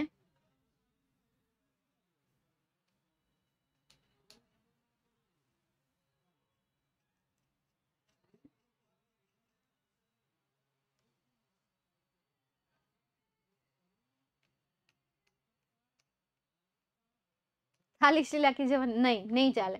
એનો પૂરો પૂરેપૂરો આન્સર લખજો બેટા. Krishna done ma'am thank you Bhavya. What are her cheeks painted તેના જે ચીક્સ છે, એ શેનાથી પેન્ટેડ થયા છે? તો her cheeks are painted with fairy fingers તો આનો આન્સર બનાવીએ આપણે. હર ચીક્સ આ જે આર છે, એ આર અહીંયા આવી જશે. Are painted with fairy fingers with fairy fingers આ તમારો થર્ડ પોઈન્ટ અને થર્ડ ક્વેશ્ચનનો આન્સર એના પછીનું જોઈએ. વિભાગ ડી કે જે ગ્રામરને લગતો વિભાગ છે. Ram work hard. તો રામ વર્ક્સ હાર્ડ. તો આ જે પાસ્ટ ફોર્મ આપેલું છે, એને તમારે પ્રેઝન્ટમાં કન્વર્ટ કરવાનું છે. તો જ્યારે ટેન્સને લગતા ફેરફાર કરવાના આવે ને, ત્યારે હંમેશા તમે ક્રિયાપદ અને સહાયકારક ક્રિયાપદ શોધવાની શરૂઆત કરી દો. ચાલો સેકન્ડ સેન્ટેન્સમાં અહીંયા તમને શું આપેલું છે? હેલ્પડ આપેલું છે. એના પછી અહીંયા તમને વર, એના પછીના સેન્ટેન્સમાં વર લાસ્ટ સેન્ટેન્સમાં સક્સીડ બીજે કે એવો શબ્દ દેખાય છે કે જે તમને ક્રિયાપદ તરીકે દેખાતો હોય? નહીં. તો અહીંયા જે હેલ્પડ આપેલું છે, એ હેલ્પડનું પ્રેઝન્ટ ફોર્મ તમે શું કરશો? હેલ્પ્સ તો આપણે અહીંયા લખીએ હેલ્પ્સ જે વર આપેલું છે, એ વર માટે તમે શું સિલેક્ટ કરશો? હી આર કે they are yes they are he are નહીં, પરંતુ ધી આર. તો આપણે અહીંયા લખીએ they are. Then they succeed તો ધેન દે સક્સીડ સક્સીડ માટે સક્સેસ તો આપણે અહીંયા કરીએ success they success very much as soon as she uttered her first word, she felt extremely. As soon as her first word was uttered, she felt extremely excited. પૂરું એના પછીનો sentence solve કરીએ. It subject છે gave verb છે her bundles of her bundles joy her bundles joy it gave her bundles joy તો her આખું હર ખાલી જે આવશે ને હર હર તેણીને બંડલ્સ જોય તો હર બંડલ્સ જોઈ બંને અલગ છે. આ હર જે છે એ શું છે? ઓબ્જેક્ટ છે. અને બંડલ્સ જોય જે છે એ શું છે? ઓબ્જેક્ટ છે. કે તેણે, તેણીને બંડલ્સ જોઈસ આપ્યું. મતલબ કે ભરી ભરીને ખુશીઓ આપી હતી. તો bundle of joy was given to her. આવી રીતે પણ બનાવી શકાય. વેરી ગુડ બાય ઇટ પાછળ બાય ઇટ લખાવી નાખો. તો જો આને સોલ્વ કરવાની ઘણી બધી મેથડ છે. અથવા તો આપણે અહીંયા હરને સબ્જેક્ટ માનીએ અને આ રીતે આન્સર બનાવીએ કે ભાઈ she then after gave V ટુનું form છે, એટલા માટે વોઝ લખીએ. She was given she was given bundle of joy અથવા તો બંડલ્સ જોય બાય કોના દ્વારા બાય ઇટ અને બીજું તમે શું સેન્ટેન્સ બનાવ્યો? કે bundle of joy was given by was given to her by it તો આ બીજી મેથડમાં પણ તમે બનાવી શકો. નેક્સ્ટ એના પછી શી કોલ હર સિસ્ટર તો શી એ શું છે? સબ્જેક્ટ છે. કોલ એ શું છે? વર્બ છે. હર સિસ્ટર એ શું છે? ઓબ્જેક્ટ છે. તો હર સિસ્ટરને આપણે લખીએ વાક્યની શરૂઆતમાં. હર સિસ્ટર, વાક્ય કયા કાળનું છે? ભૂતકાળનું છે. તો વોઝ વર્ડમાંથી આવશે વોઝ. કોલનું વિથરીનું થ્રીનું ફોર્મ થશે કોલ્ડ. બાય કોના દ્વારા? તો બાય હર. તો તેના પછી આપણે લખીએ her. Full stop she commanded her dog the dog obey her command તો she subject commanded verb her dog object and એનું એ રહેશે. The dog subject obeyed verb her command object બંને સેન્ટેન્સમાં ચેન્જીસ થશે. હર ડોગ આવી જશે આગળ શી જતું રહેશે પાછળ. અહીંયા કાળને લગતો ચેન્જીસ થશે અને એ ચેન્જીસ કેવો હશે? વોઝ વાળો ચેન્જીસ હશે. વોઝ પ્લસ વી થ્રીનું ફોર્મ આવશે.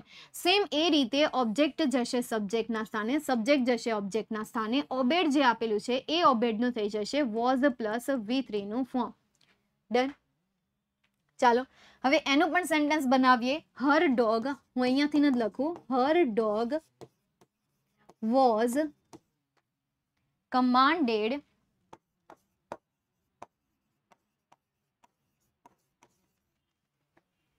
by her and her command her command was obeyed કેવું મસ્ત સેન્ટેન્સ છે. એક્ઝામમાં આવું આવી જાય ને, મજા પડી જાય.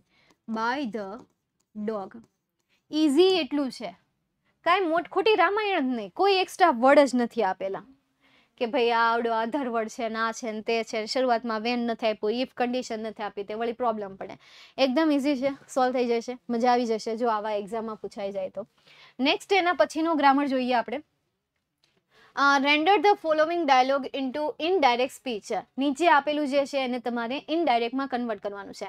I come from Mo and Magins your son's employer the visitor said તો ધ વિઝિટર સેડનું આપણે ધ વિઝિટર સેડ જ લખીએ. ધ વિઝિટર સેડ ટુ કોને કહે છે? ઓલ્ડ લેડી હે ને? એને ઓલ્ડ લેડીને ઓકે તો old lady said to old lady કોના ઉપર ગુસ્સો કરે છે, ભવ્યા? ગુસ્સો હું, આ શું કરે છે? ખાઈ લે. રેવડી કે છે, અચ્છા, તો તું કે છો ખાઈ લે. એમને તો હાલ જ નહીં ગા તારે? કંઈક ને કંઈક તો કરવા જોઈએ તે લખણ ખોટા વાળા વાક્યને જોડવા માટે શું આવશે?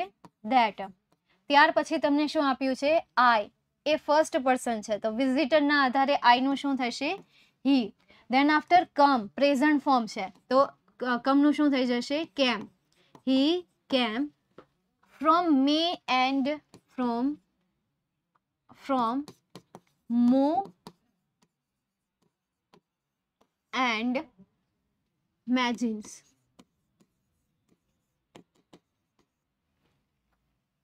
Comma your son's employer તો યોરની જગ્યાએ હર સન્સનું સન જ રહેશે સન્સ એમ્પ્લોયર ફૂલ સ્ટોપ એના પછીનું is anything wrong has anything happen to my son તો ઓલ્ડ લેડી અહીંયા કહેતી નથી, પરંતુ સવાલ પૂછે છે. તો આપણે અહીંયા શું લખશે? આસ્કડ લખીશું. તો ઓલ્ડ લેડી આસ્કડ કોને સવાલ પૂછે છે? તો એમ્પ્લોયરને સવાલ પૂછે છે. એને જ પૂછે ને? તો આપણે લખીએ એમ્પ્લોયર નહીં એન્ડથી નથી જોડવું. અહીંયા કયો છે ને એન્ડથી જોડવું છે? કોમા કરીને લખી નાખો. આઈ હી કમ ફ્રોમ મો એન્ડ મેગીસ પછી તમે એમ કહેતા ને કે યોર સન્સ એમ્પ્લોયર તો તમારે કેવું પડે કે he was his son's employer કે તે તેનો દીકરાનો એમ્પ્લોયર છે. તો અહીંયાથી તમારે એમ કેવું પડે કે he was her son's employer કે તે તેના દીકરાનો એમ્પ્લોયર છે. આખું સેન્ટેન્સ બનાવવું પડે. આપણે અધૂરા સેન્ટેન્સ હોય તો એને આખા નથી લખતા. શોર્ટમાં આન્સર આપ્યો હોય તેને આખો આન્સર લખતા હોય. શોર્ટમાં ક્વેશ્ચન પૂછ્યો હોય તો આપણે આખો સવાલ પૂછતા હોય. તો અહીંયા તમારે આખો સેન્ટેન્સનો આખો સવાલ બનાવવો પડે. આખો સેન્ટેન્સ તમારે પૂરું કરવું પડે. તો જો એન્ડથી જોડતા હોય તો. ઓકે નેક્સ્ટ એના પછી આગળ જઈએ. વોઇસ નહીં આ રહી કોઈ બાત નહીં. તો भी सुनो आप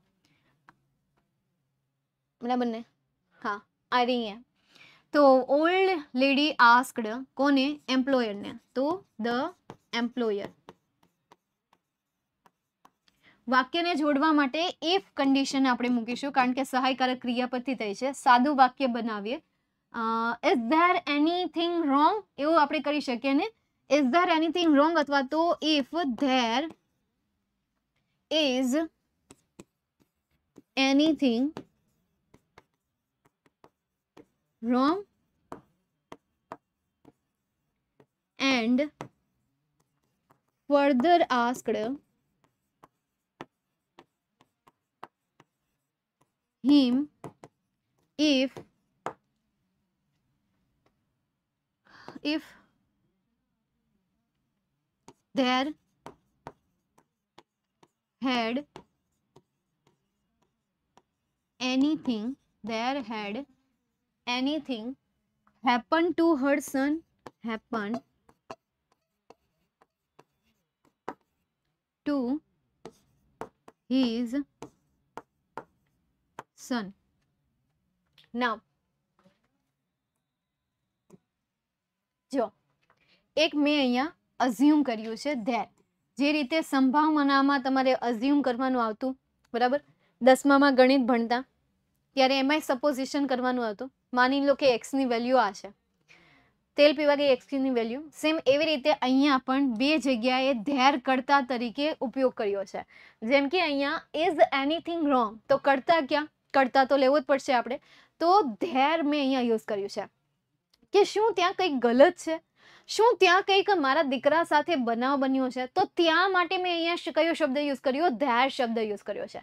તો તમારે આવી રીતે કદાચ કોઈ એવી સિચ્યુએશન આવી જાય, તો આ રીતે તમારે સપોઝ કરવાનું રહેશે. આ રીતે તમારે આ શબ્દ અઝ્યુમ કરવાનું રહેશે, ધારવાનું રહેશે. એમ્પ્લોયર નહીં આવે વિઝિટર આવશે. હવે તમે વિઝિટર લખો કે એમ્પ્લોયર લખો. કારણ કે વિઝિટર એમ્પ્લોયર હતો અને એમ્પ્લોયર વિઝિટર હતો. વિઝિટરનું નામ એમ્પ્લોયર હતું અને એમ્પ્લોયરનું નામ વિઝિટર હતું. તો તમે અહીંયા એમ્પ્લોયર પણ યુઝ કરી શકો છો અને વિઝિટરનો પણ ઉપયોગ કરી શકો છો. બરાબર? ઓપ્શનલ વર્ડ છે. બંનેમાંથી કોઈ પણ તમે લગાવી દો. હા, નહીં મળી તો. નેક્સ્ટ એના પછી. Badly hurt but he is not in much pain તો એણે શું કહ્યું કે ભાઈ હી હેઝ બેડલી હર્ટેડ ભાઈ, તેને ખૂબ જ નુકસાન દર્દ, પીડા પહોંચી છે, પરંતુ હવે તેને વધારે પેઇન છે નહીં. તો હવે અહીંયા એણે જવાબ આપ્યો છે. તો જવાબ માટે શું આવશે? રિપ્લાઇડ આવશે. તો ધ વિઝિટર અથવા તો the employer replied replied her that that he, હવે આગળ આપણે શું કર્યું હતું? હેડ કર્યું હતું ને, તો આપણે અહીંયા હેડ જ કરીએ. He had badly hurt he had badly hurt but but કરીને વાક્ય જોડી દો.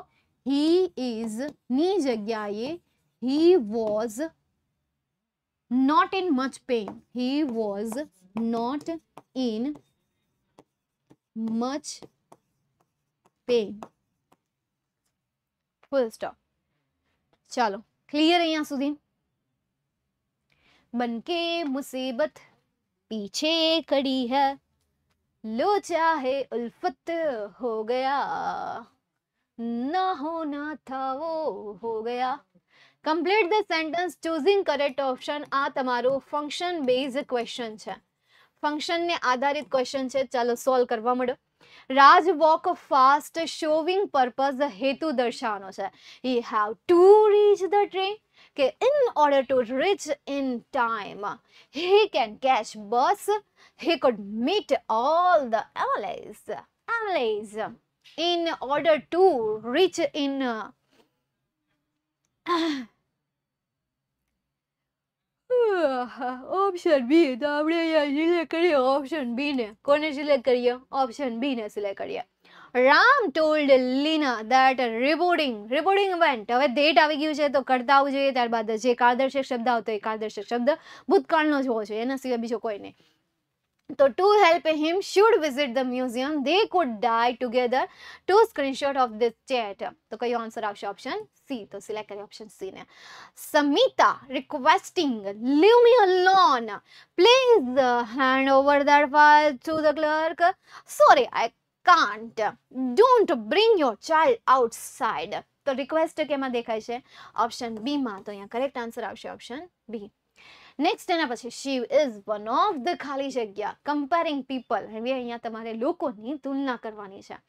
તો as most as intelligent boys in the class most an intelligent to other students creative as mister Ashish Kathiriya most intelligent boy in the class હે, કયું select કરવું? As most તો as most તો નો જ આવે, હે ને?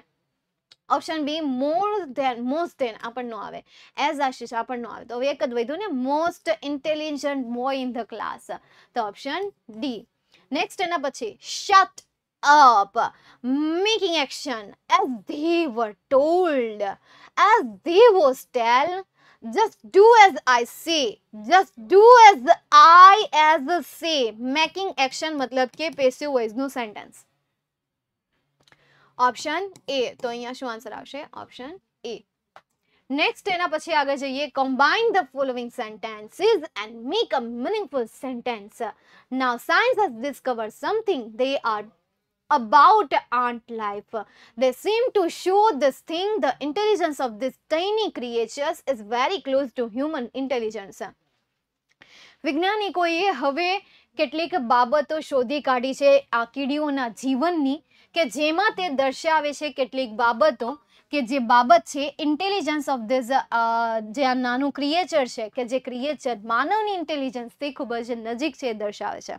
તો આખું સેન્ટેન્સ જે છે સેન્ટેન્સને મારે કઈ રીતે જોડવું ક્યાં કેવા શબ્દ મૂકો ફરીથી આપણે એ વાક્યને વાંચીએ. બે ત્રણ મિનિટ આપો ચાર પાંચ મિનિટ આપો, પાંચ મિનિટમાં આને સોલ્વ કરો. વધારે મિનિટ નહીં લો, પાંચ મિનિટમાં સોલ્વ કરો. Now science has discover something હવે વૈજ્ઞાનિકોએ ડિસ્કવર કર્યું છે સમથિંગ અબાઉટ એન્ડ્સ લાઈફ ચલો આ જોઈન્ટ થઈ ગયું અને સિમ્પલ સેન્ટેન્સ કહેવાય. That about and life that show the intelligence of these these ક્રીની teeny creature tiny creature is uh, very close. Wow joint થઈ ગયું. નહીં મસ્ત થઈ ગયું. નહીં જોઈન્ટ હા હા અરે વાહ ભાઈ વાહ રમતા રમતા થઈ ગયું. ચાલો કઈ રીતે? હવે વૈજ્ઞાનિકોએ now science has discover something about ant life about ant life that show તેણે એ બતાવ્યું કે જે that show that show the intelligence this થિંગની જગ્યાએ the intelligence of this tiny creature is very close to human intelligence થઈ ગયું ફરી એક વખત કયા શબ્દ કાઢવાના? અહીંયાથી ધેર આર કાઢી નાખવાનું છે. અહીંયાથી ધે સીમ ટુ કાઢી નાખવાનું છે અને અહીંયાથી ધીસ થિંગ કાઢી નાખવાનું છે. ફૂલ સ્ટોપ સાથે. એટલે આખું સેન્ટેન્સ તમારું જોઈન્ટ થઈ જશે. નેક્સ્ટ એના પછીના ક્વેશ્ચન તરફ જઈએ.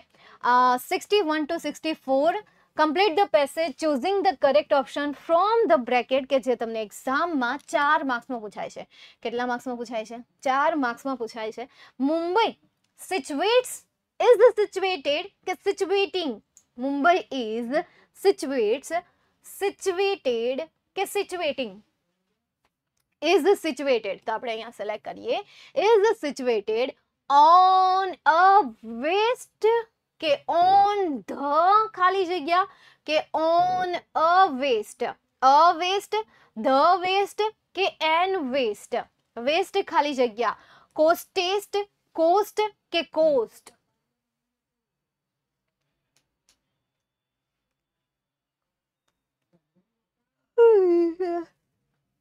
એન આર્ટિકલ લગાડવો છે બોલો વેસ્ટ માટે ઈ રીતે વેસ્ટ ડબલ્યુ શબ્દ આપેલો છે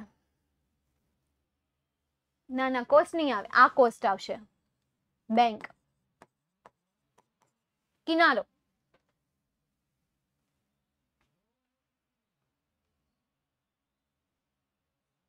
હા એ કોસ્ટ આવશે. અને આગળના પેરેગ્રાફમાં આગળની ખાલી જગ્યામાં, જો અહીંયા કોસ્ટ આવતો હોય બેંક આવતો હોય બેંકનો કિનારો આવતો હોય, કે મુંબઈ જે છે, એ એક કિનારા ઉપર સિચ્યુએટેડ છે, તો ઓન પછી ધ મૂકીએ. તો આપણે અહીંયા લખીએ the. Okay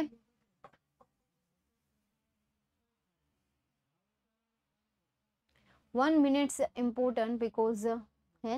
ઇમ્પોર્ટન્ટનો સ્પેલિંગ ખોટો છે, બાકી રેડી છે. મહેશભાઈ. જો કે એક્ઝામમાં એક્ઝામ હાલે ને, તમે સ્ટુડન્ટ છો ને, એટલા માટે સ્પેલિંગનું હોય મહત્વ. લખવું હોય ને એટલે. બાકી બોલતા શીખવું હોય. ક્યાં સ્પેલિંગ આપણે બોલવાના હોય કે ભાઈ આ આમ તેમ. એના પછી city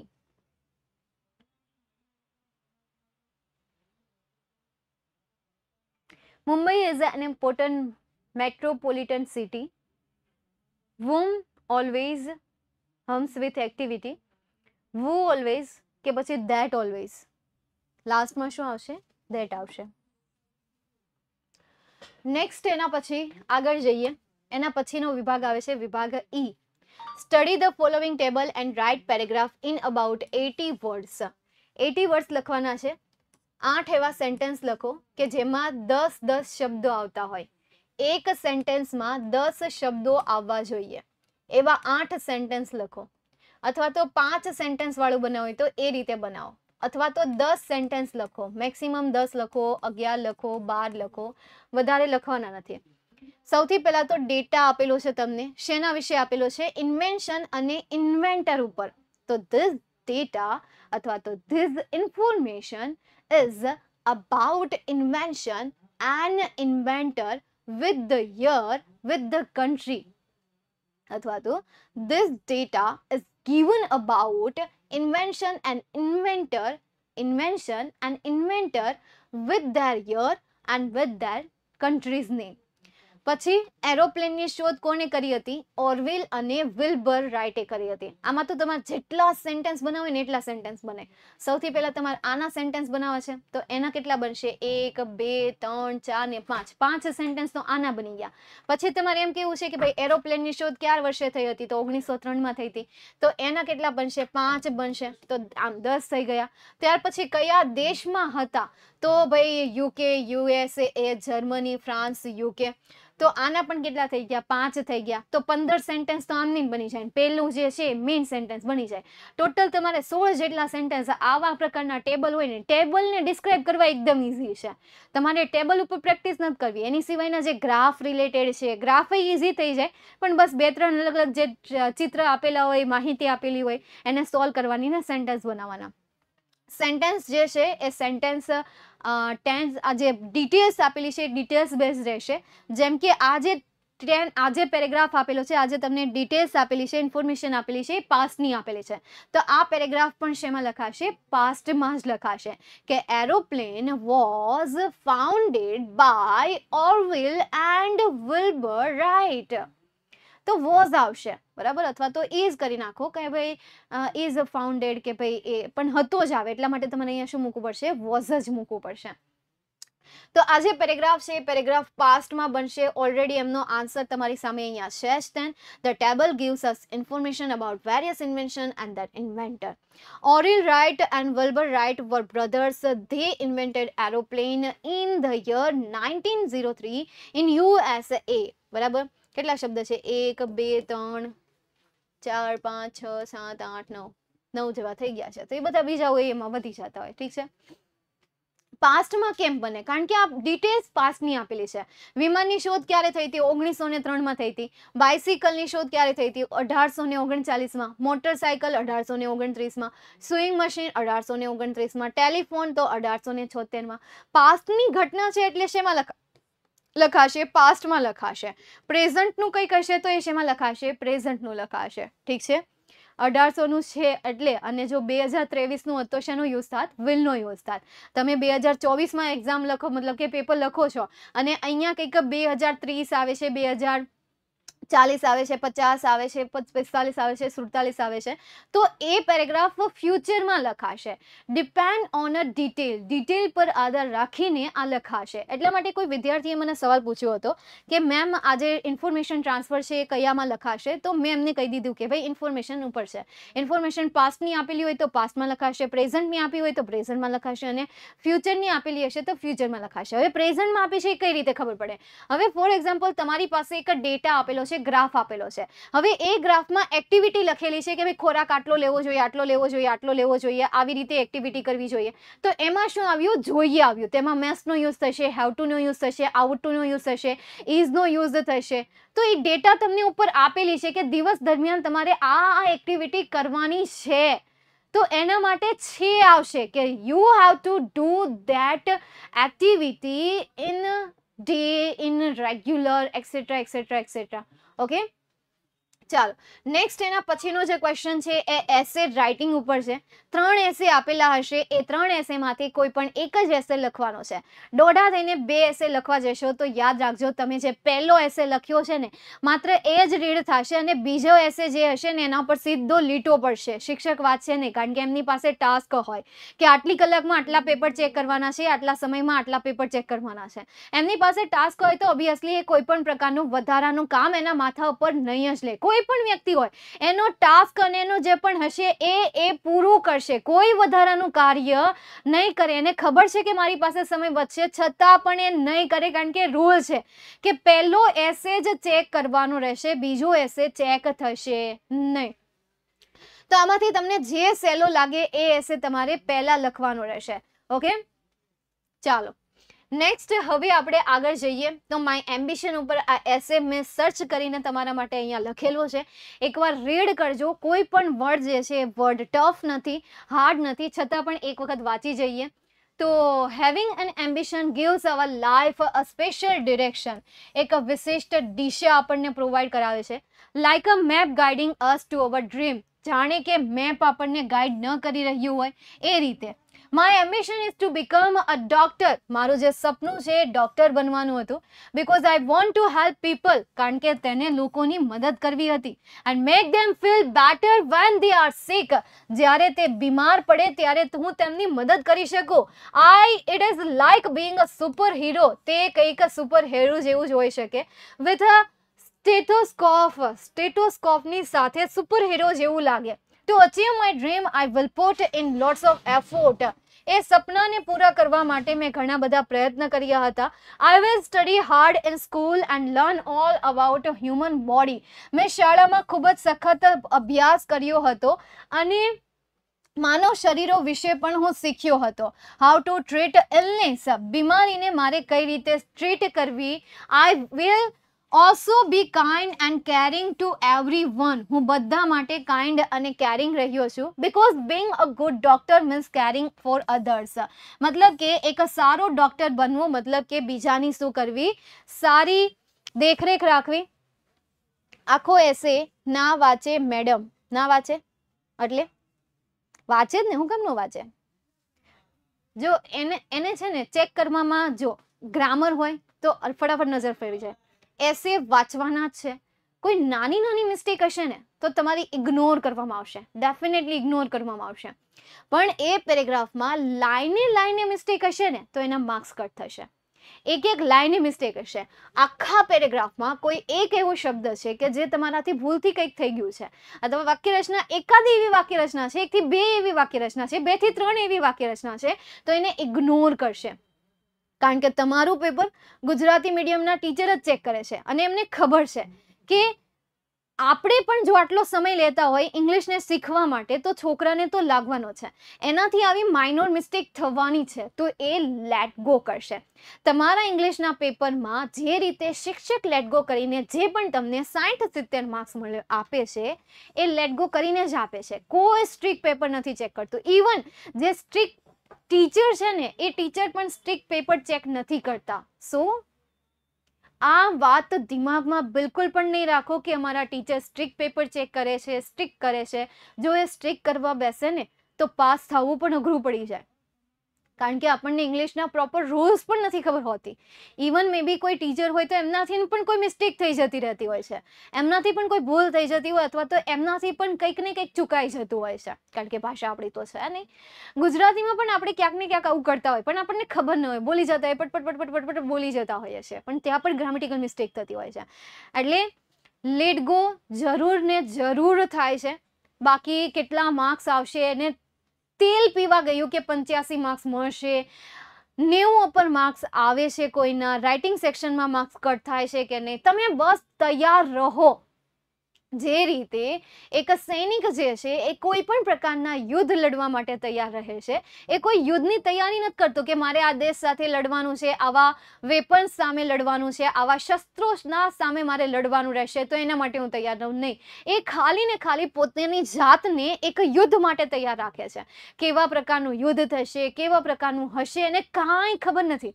પણ એ દરેકે દરેક પ્રકારના યુદ્ધ માટે હંમેશા તૈયાર રહે છે. તો તમારે ઇંગ્લિશ સબ્જેક્ટને કંઈક રીતે પ્રિપેર કરવાનું છે.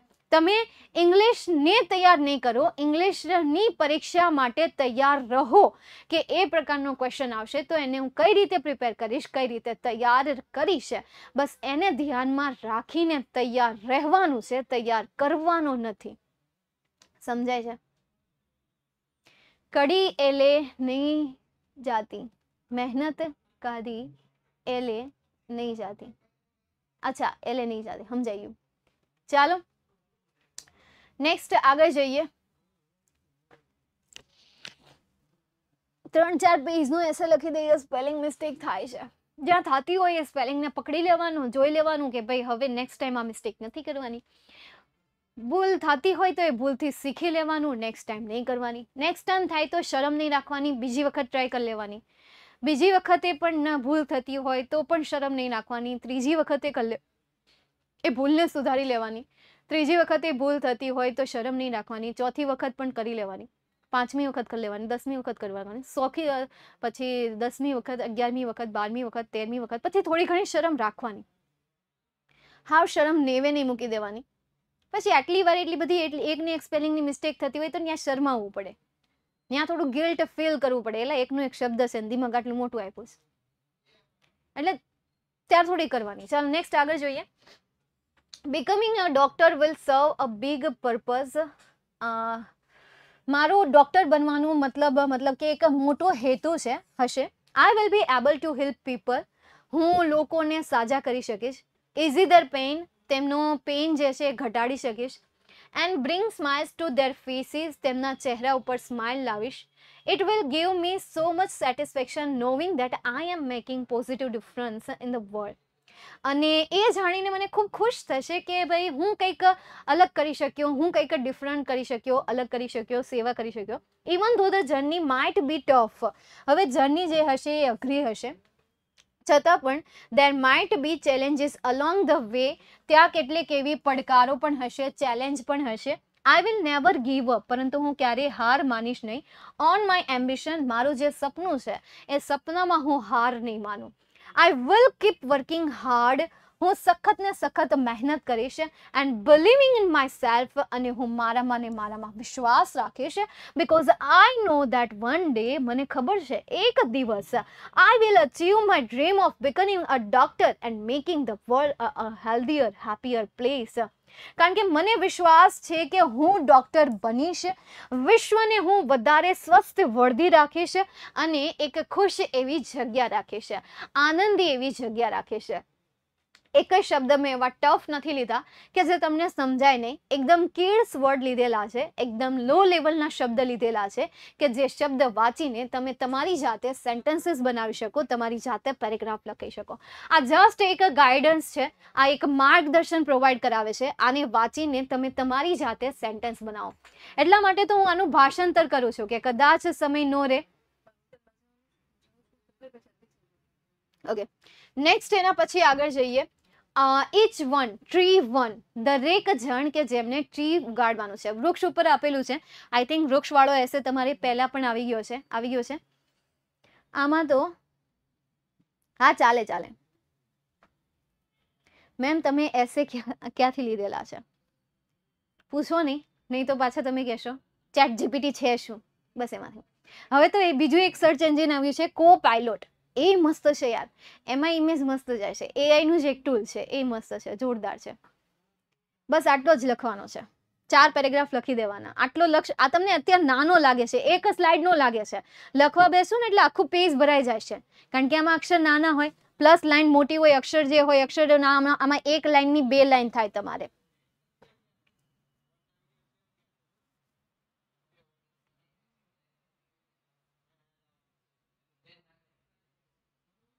અગિયાર માર્ક્સનું લઈ ગયું. પ્રેક્ટિસ કર. જેમાં સ્પીડ ન હોય એની વસ્તુ આપણે વારંવાર કરીએ તો એમાં સ્પીડ આવી જાય. દેટ્સ ઇટ કીબોર્ડમાં અત્યારે મને કોઈ ટાઈપિંગ કરવાનું કે તમારી સ્પીડમાં થાય. પછી મારાથી નહીં કોઈ હોય તો હું કામ થતું હોય? એની પ્રેક્ટિસ એટલી હોય કીબોર્ડ ઉપર. મારી એટલી બધી ન હોય. મારે ઘડીક ભણાવવા જવાનું, પાછું પીસી ઉપર વર્ક કરવાનું, ઘડીક ભણાવવા જવાનું, પાછું પીસી ઉપર વર્ક કરવાનું. તો મારી ઓછી હોય. પણ જે એડિટર છે, પણ જે છે, એની સ્પીડ વધારે હોય. એ ફટાફટ ફટાફટ કરે જતા હોય. તો સ્પીડ ત્યારે વધે. હા ટ્રી અને ફોરેસ્ટમાં સેમ એસે લખી નાખો, ચાલે. ફોરેસ્ટનો જે મેં કરાવ્યો હતો, એ લખો. અથવા ટ્રીઝનો જે અહીંયા તમને આપેલો છે, એ લખો. ફોરેસ્ટનો પૂછાય તો ત્યાં તમારે ટ્રી વર્ડ મૂકી દેવાનો, અથવા તો એ રીતે મિક્સ મસાલો કરીને તમારે લખી દેવાનું, વિશાલ બેટા, ઓકે? મળી ગયો? કે હાનો બિચારો સવાલ પૂછતો હતો? મને તારો સવાલ દેખાડનો નહીં. હવે દેખાણો છે. એટલે હવે આપી દીધો. ઓકે? ચાલ, જોઈએ. તો man and trees share special relationship ભાઈ એક ખાસ સંબંધ છે બંનેની વચ્ચે. Tree are like our friends આપણા મિત્રો છે. Always there to help us હંમેશા આપણી મદદ કરવા માટે આવે છે. એન્ડ આપણા વિશ્વને બેટર પ્લેસ બનાવે છે. ઘણી બધી ઉપયોગી વસ્તુઓ આપે છે. જેમ કે બ્રીથ માટે oxygen to breathe fruit to eat wood for building houses and making furniture but tree are not just useful to us they are also super important in nature કુદરત માટે પણ તે કેવા છે? મહત્વના છે. They provide homes for animals and birds પક્ષીઓ અને પ્રાણીઓને ઘર પ્રોવાઈડ કરે છે. પ્રિવેન્ટ સોલ ઇરોઝન ભાઈ, એ જમીન ધોવાણને પણ અટકાવે છે. ઇવન બ્રિંગ રેઇન વરસાદ પણ લાવે છે. Without tree our planet wouldn't be the same ભાઈ, એવું ન લાગે. સારું ન લાગે. પહેલાં જેવું ન લાગે.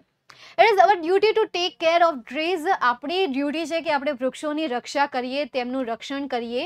We should plant more trees make sure not to cut them down unnecessarily by doing this આવું કરીને આપણે જસ્ટ હેલ્પિંગ અવર સેલ્સ આપણી જાતને જ આપણે મદદ કરીએ છીએ.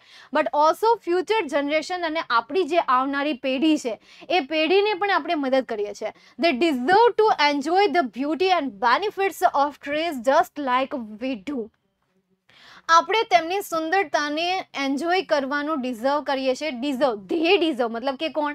આપણા જે ફ્યુચર જનરેશન છે ને, એ એ પણ ડિઝર્વ કરે છે કે ભાઈ એ આ સુંદરતાને એન્જોય કરી શકે, એમના લાભ લઈ શકે. એમનો પણ હક બને છે. In my opinion trees are like the super heroes એ પણ સુપર હીરો છે of nature નેચરના they quietly work hard to keep our planet healthy and beautiful તો એ પણ કઈ સખત મહેનત કરે છે આપણા પ્લાનેટને હેલ્ધી બનાવવામાં અને સુંદર બનાવવાના so let's all do part and make sure to plant અને આપણે પ્લાન્ટ કરીએ પ્રોટેક્ટ કરીએ ચેરિશ ટ્રીઝ એમને ઉછેરીએ, આપણે વૃક્ષોને ઉછેરીએ because each one we plant today will make a big difference for tomorrow કારણ કે દરેક વ્યક્તિ જ્યારે ટ્રીને પ્લાન્ટ કરશે ને, ત્યારે એક મોટો ડિફરન્સ આવશે. ત્યારે એક મોટું કંઈક જુદાપણું આવશે. એટલે દરેક વ્યક્તિએ પ્લાન્ટ કરવું જોઈએ. Next love is a powerful weapon to unity તો આ એસે મેં તમને ઓલરેડી પ્લેલા સમજાવી દીધેલો છે. એકવાર તમે આમને સેલ્ફ રીડ કરી લેજો. કોઈ એવો શબ્દ છે, તો એ શબ્દને ઇગ્નોર કરી દેજો. કોઈ એવો શબ્દ છે કે જે શબ્દ નથી સમજાતો. ગૂગલ ટ્રાન્સલેટમાં નાખજો. બરાબર સર્ચ એન્જિનનો યુઝ કરજો. ગૂગલ ટ્રાન્સલેટમાં નાખજો. એને લગતા સિમિલર શબ્દો જોઈ લેજો. ફોર એક્ઝામ્પલ હાર્મની વર્ડ છે. અહીંયા તમને હાર્મની આપેલું છે. તો લખજો ગૂગલમાં harmony similar word for harmony harmony માટે સિમિલર વર્ડ્સ આપો. એટલે નીચે તમને સિમિલર શબ્દો આપી દેશે. હવે એ શબ્દમાંથી કોઈ પણ શબ્દ તમને ઇઝી લાગે છે, તો એ શબ્દનો તમે યુઝ કરી લેજો. પણ એકવાર સેલ્ફ આ એસેને રીડ કરી જ લેજો, વાંચી લેજો જસ્ટ રીડ કરજો અને એમાંથી સેન્ટેન્સ બનાવજો. બાકી એનો યુઝ નહીં કરતા. બાકી એમની મેથડ તો મેં તમને યુટ્યુબમાં શીખવાડેલી છે કે એસેને હંમેશા જાતે લખવાનું રાખો, એને પાકો કરવાનો નહીં રાખો. હંમેશા એના માટે તૈયાર રહો. આઈએમપીએસસીની જરૂર જ નહીં પડે.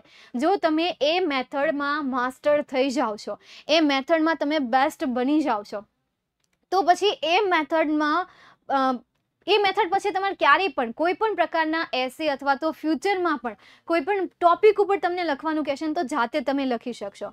ઓકે?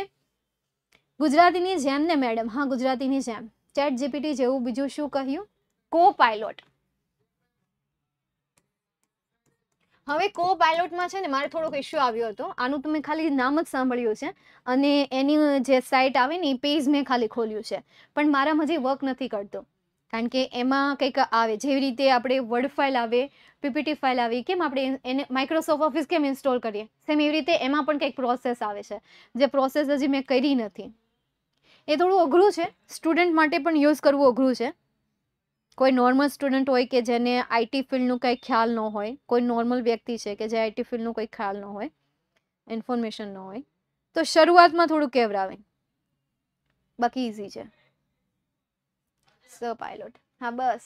ગુજરાતી કરી નાખ્યું. આપણે છે ને હંમેશા બસ આવું જ કરતા રહીએ છીએ. એટલે જ ઇંગ્લિશ નથી આવડતું.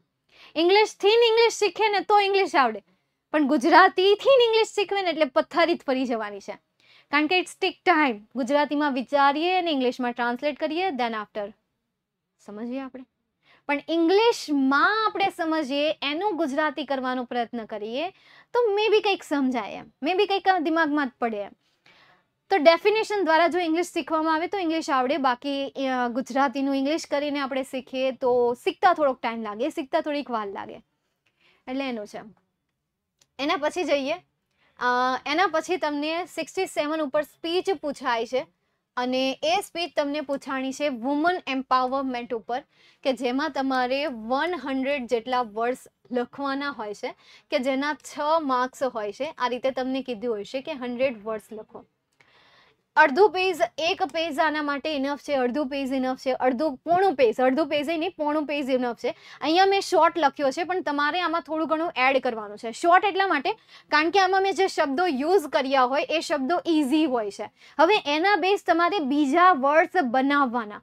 બીજા વર્ડ્સ તમારે એમાં એડ કરવાના. તો જે ઇઝી ઇઝી સેન્ટેન્સ જે હોય ને, એ ઇઝી ઇઝી સેન્ટેન્સ હું અહીંયા તમને પ્રોવાઈડ કરાવી દઉં. બાકીના એ સેન્ટેન્સનો યુઝ કરીને તમારી રીતે નવા સેન્ટેન્સીસ બનાવો. ઓકે હજી પણ અમારે આમાં તમારે ચાર પાંચ લાઈન એડ કરવાની રહેશે. ખાલી આટલું લખીને નહીં આવતા, નહીં તો કહેશે કે મેં મેં આટલું લખ્યું છે, તો આપણે છાપીને આવી જઈએ.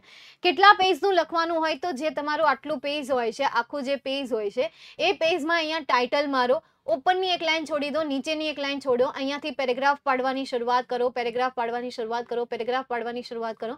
એક પેરેગ્રાફ પૂરો થઈ જાય, પછી એક લાઈન છોડી દો, પછી ફરીથી એક પેરેગ્રાફ પાડો અને એ પેરેગ્રાફ પૂરો થાય, પછી અહીંયા ફૂલ સ્ટોપ મૂકી દેવાનું, બીજું પેજ ભરવાની કોઈ જરૂર છે નહીં. બીજું પેજ ભરવાની કોઈ જરૂર નથી. મેમ, અમે ફર્સ્ટ અને લાસ્ટ પેરેગ્રાફની ફોર્મેટ મુજબ લખી શકાય. સ્પીચમાં તો એવું કંઈ આવે નહીં ફિક્સ ફોર્મેટ આવે નહીં. છતાં પણ તમને પ્રોવાઈડ કરવામાં આવી છે તમારી શાળામાંથી અથવા તો બીજી કોઈ જગ્યાએથી. દેટ્સ વેલ એન્ડ ગુડ પણ એ ટોપિક એક ફિક્સ હોય કે આ ટોપિક ઉપર તમને સ્પીચ પૂછાય તો આવી રીતે લખવાનું રહેશે. કોઈ સ્કૂલમાં તમારે આપવાનું છે તો સ્કૂલનું એક ફિક્સ હોય. બે ત્રણ લાઈન ફિક્સ હોય કે અમારી સ્કૂલમાં આના ઉપર સ્પીચ આપવાની છે તો એ એ જે બે ત્રણ લાઈન હોય છે, ચાર પાંચ લાઈન હોય છે ફિક્સ હોય છે કે અમારી સ્કૂલમાં આ યોજાયું, આ સમયે યોજાયું, આટલા આટલા મહેમાન આવ્યા હતા, આવી રીતે થયું, આ રીતે થયું. હવે ફોર એક્ઝામ્પલ આ ક્વેશ્ચનમાં શું હતું? વુમન એમ્પાવરમેન્ટ હતું, એ ડિલિવર સ્પીચ કરવાની હતી, ક્યાં કરવાની હતી? સ્કૂલ એસેમ્બલીમાં કરવાની હતી. હવે સ્કૂલ હોલમાં હોય તો મહેમાન હોય, તો મહેમાનની પહેલી લાઈન ફિક્સ હોય hello everyone good evening good morning વગેરે વગેરે વગેરે. Hello everyone I hope you are all in well today we are going to this આ ટોપિક ફલાણું પૂછણું, ઢીંગણું. તો શરૂઆતની જે લાઈન હોય છે, એ લાઈન ફિક્સ હોય છે. જો તમારી પાસે એ લાઈન છે, તો એ લાઈનને ફોલો કરો. નહીં તો હું શોધીને તમને આપી દઈશ. બરાબર છે? યુટ્યુબના માધ્યમ દ્વારા અથવા તો કોઈ પણ માધ્યમ દ્વારા હું તમને એ ફિક્સ આપી દઈશ. ઠીક છે? બીજું એન્ડિંગની લાઈન તમે થોડી ઘણી ફિક્સ રાખી શકો. થેન્ક યુ કે તમે મને સાંભળી આ તે ફલાણું પૂછવું ટીકનું thank you for listening I hope you all get together અથવા તો ફરીથી આપણે મળીશું આ તે જે છે એ ફિક્સ આવે. I hope over you fit and find લખી શકીએ મેડમ હા, આવા જે કોમન કોમન સેન્ટેન્સીસ છે, એ કોમન કોમન સેન્ટેન્સીસ લખીને પણ તમે ફર્સ્ટ લાઇનને ફિલ કરી શકો છો. અથવા તો હું તમને જ આ ટાસ્ક આપી દઉં. ક્લાસમાંથી કોઈ એવું કે જેમનું ઇંગ્લિશ બેટર એન્ડ બેટર છે, તો યાર એ સ્ટાર્ટિંગની અને એન્ડિંગની લાઇન આપી દો. અને પછી એ લાઇન હું તમારા જ ક્લાસના વિદ્યાર્થીઓને શેર કરી દઈશ, કે જેથી એમને સહેલું પડે. તો નેક્સ્ટ જે પેપર આવે, એ પેપર પહેલાં કોઈ ક્લાસના વિદ્યાર્થીઓ મળીને એ લાઈન મને લખીને મોકલો. એ પેપર હું લઈને આવું, એ પહેલાં મને મોકલજો કે જેથી કરીને હું એમાં એડ કરી દઉં. નહીં તો પછી યુટ્યુબના માધ્યમ દ્વારા હું તમને પ્રોવાઈડ કરાવીશ. એટલે એ પહેલાં મને શરૂઆતની અને એન્ડિંગની લાઈન લખીને આપજો. જાતે બનાવીને આપજો. કોઈ ટીચરે આપેલી હોય એ નહીં. તમે જાતે બનાવો, તમે જાતે વિચારો. ફોર એક્ઝામ્પલ તમે સ્પીચ આપતા હોય, તો સ્પીચમાં શરૂઆતમાં તમે શું કહેશો અને એન્ડમાં શું કહેશો? કોમન શું આવશે? એટલું લખીને તમે મને મોકલી દેજો. ઠીક છે? ચાલો. નેક્સ્ટ એના પછી કોપી નહીં કરતા. પ્લીઝ તમારી સ્કૂલમાંથી તમારા ટીચરે આપ્યું હોય, કોઈ સરે આપેલું હોય કોપી બિલકુલ પણ નહીં કરતા નહીં યુટ્યુબનો યુઝ કરતા. ગૂગલ ટ્રાન્સલેટનો યુઝ કરવો હોય તો ગૂગલ ટ્રાન્સલેટનો યુઝ કરજો. સર્ચ એન્જિનનો યુઝ કરવો હોય તો એનો કરજો. પણ સેલ્ફ જાતે બનાવીને મને આપજો. નેક્સ્ટ એના પછી આગળ જઈએ.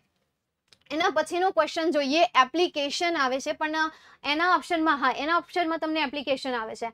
હવે એપ્લિકેશનની એક ફોર્મેટ હોય છે, એ ફોર્મેટ બેઝ તમે પ્રિપેરેશન કરજો. કોમન લખતા તો અમને આવડે. હા, તો પછી લખીને મને મોકલજો. બરાબર છે? ચાલો. તો હવે અહીંયા અપ્લાય શેના માટે કરવાનું છે સેલ્સમેન માટે કરવાનું છે. હવે કોઈ પણ સેલ્સમેન હોય, એ સેલ્સમેન માટે કઈ કઈ ડિગ્રી હોવી જોઈએ? સેલ્સમેન માટે કઈ ડિગ્રી આવે? પાંચ પેજ એ તો તમે કરો છો. બાકી બે પેજમાં પૂરું થઈ જાય. બે પેજ અથવા તો અઢી પેજમાં એપ્લિકેશન પૂરી થઈ જાય. એપ્લિકેશનને બોક્સમાં રાખજો. જેવી રીતે પેજમાં બોર્ડર ન હોય, એવી રીતે બોર્ડર રાખજો. કઈ રીતે ખબર? આ બાજુ એક સેન્ટીમીટરની જગ્યા, હું જો ઓલી બાજુ એક સેન્ટીમીટરની જગ્યા, નીચે બે લાઈન છોડી દેવાની, ઉપર બે લાઈન છોડી દેવાની અને એ બોક્સની અંદર જ આખી એપ્લિકેશન લખવાની. આખું જે પેજ હોય ને, એ પેજમાં ઉપરની બે લાઈન અને લેખન વિભાગનો દરેક ક્વેશ્ચન નવા પેજે જ રાખો. દરેકે દરેક સવાલ નવા પેજે રાખો, એના એ પેજે નહીં રાખતા. ઓકે નવા પેજે લખજો. એમબીએ બીબીએ બીકોમ પણ ચાલે. લખીને બતાવું. હવે એની ફોર્મેટ મેં તમને આપી દીધેલી છે. એટલે હું દરેક પેપરમાં એપ્લિકેશન બિલકુલ પણ નથી લખતી.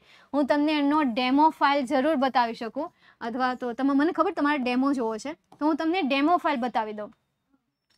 તો આવી રીતે જે પેજ હોય છે, એમાં જે આવી રીતે લાઇનિંગ હોય છે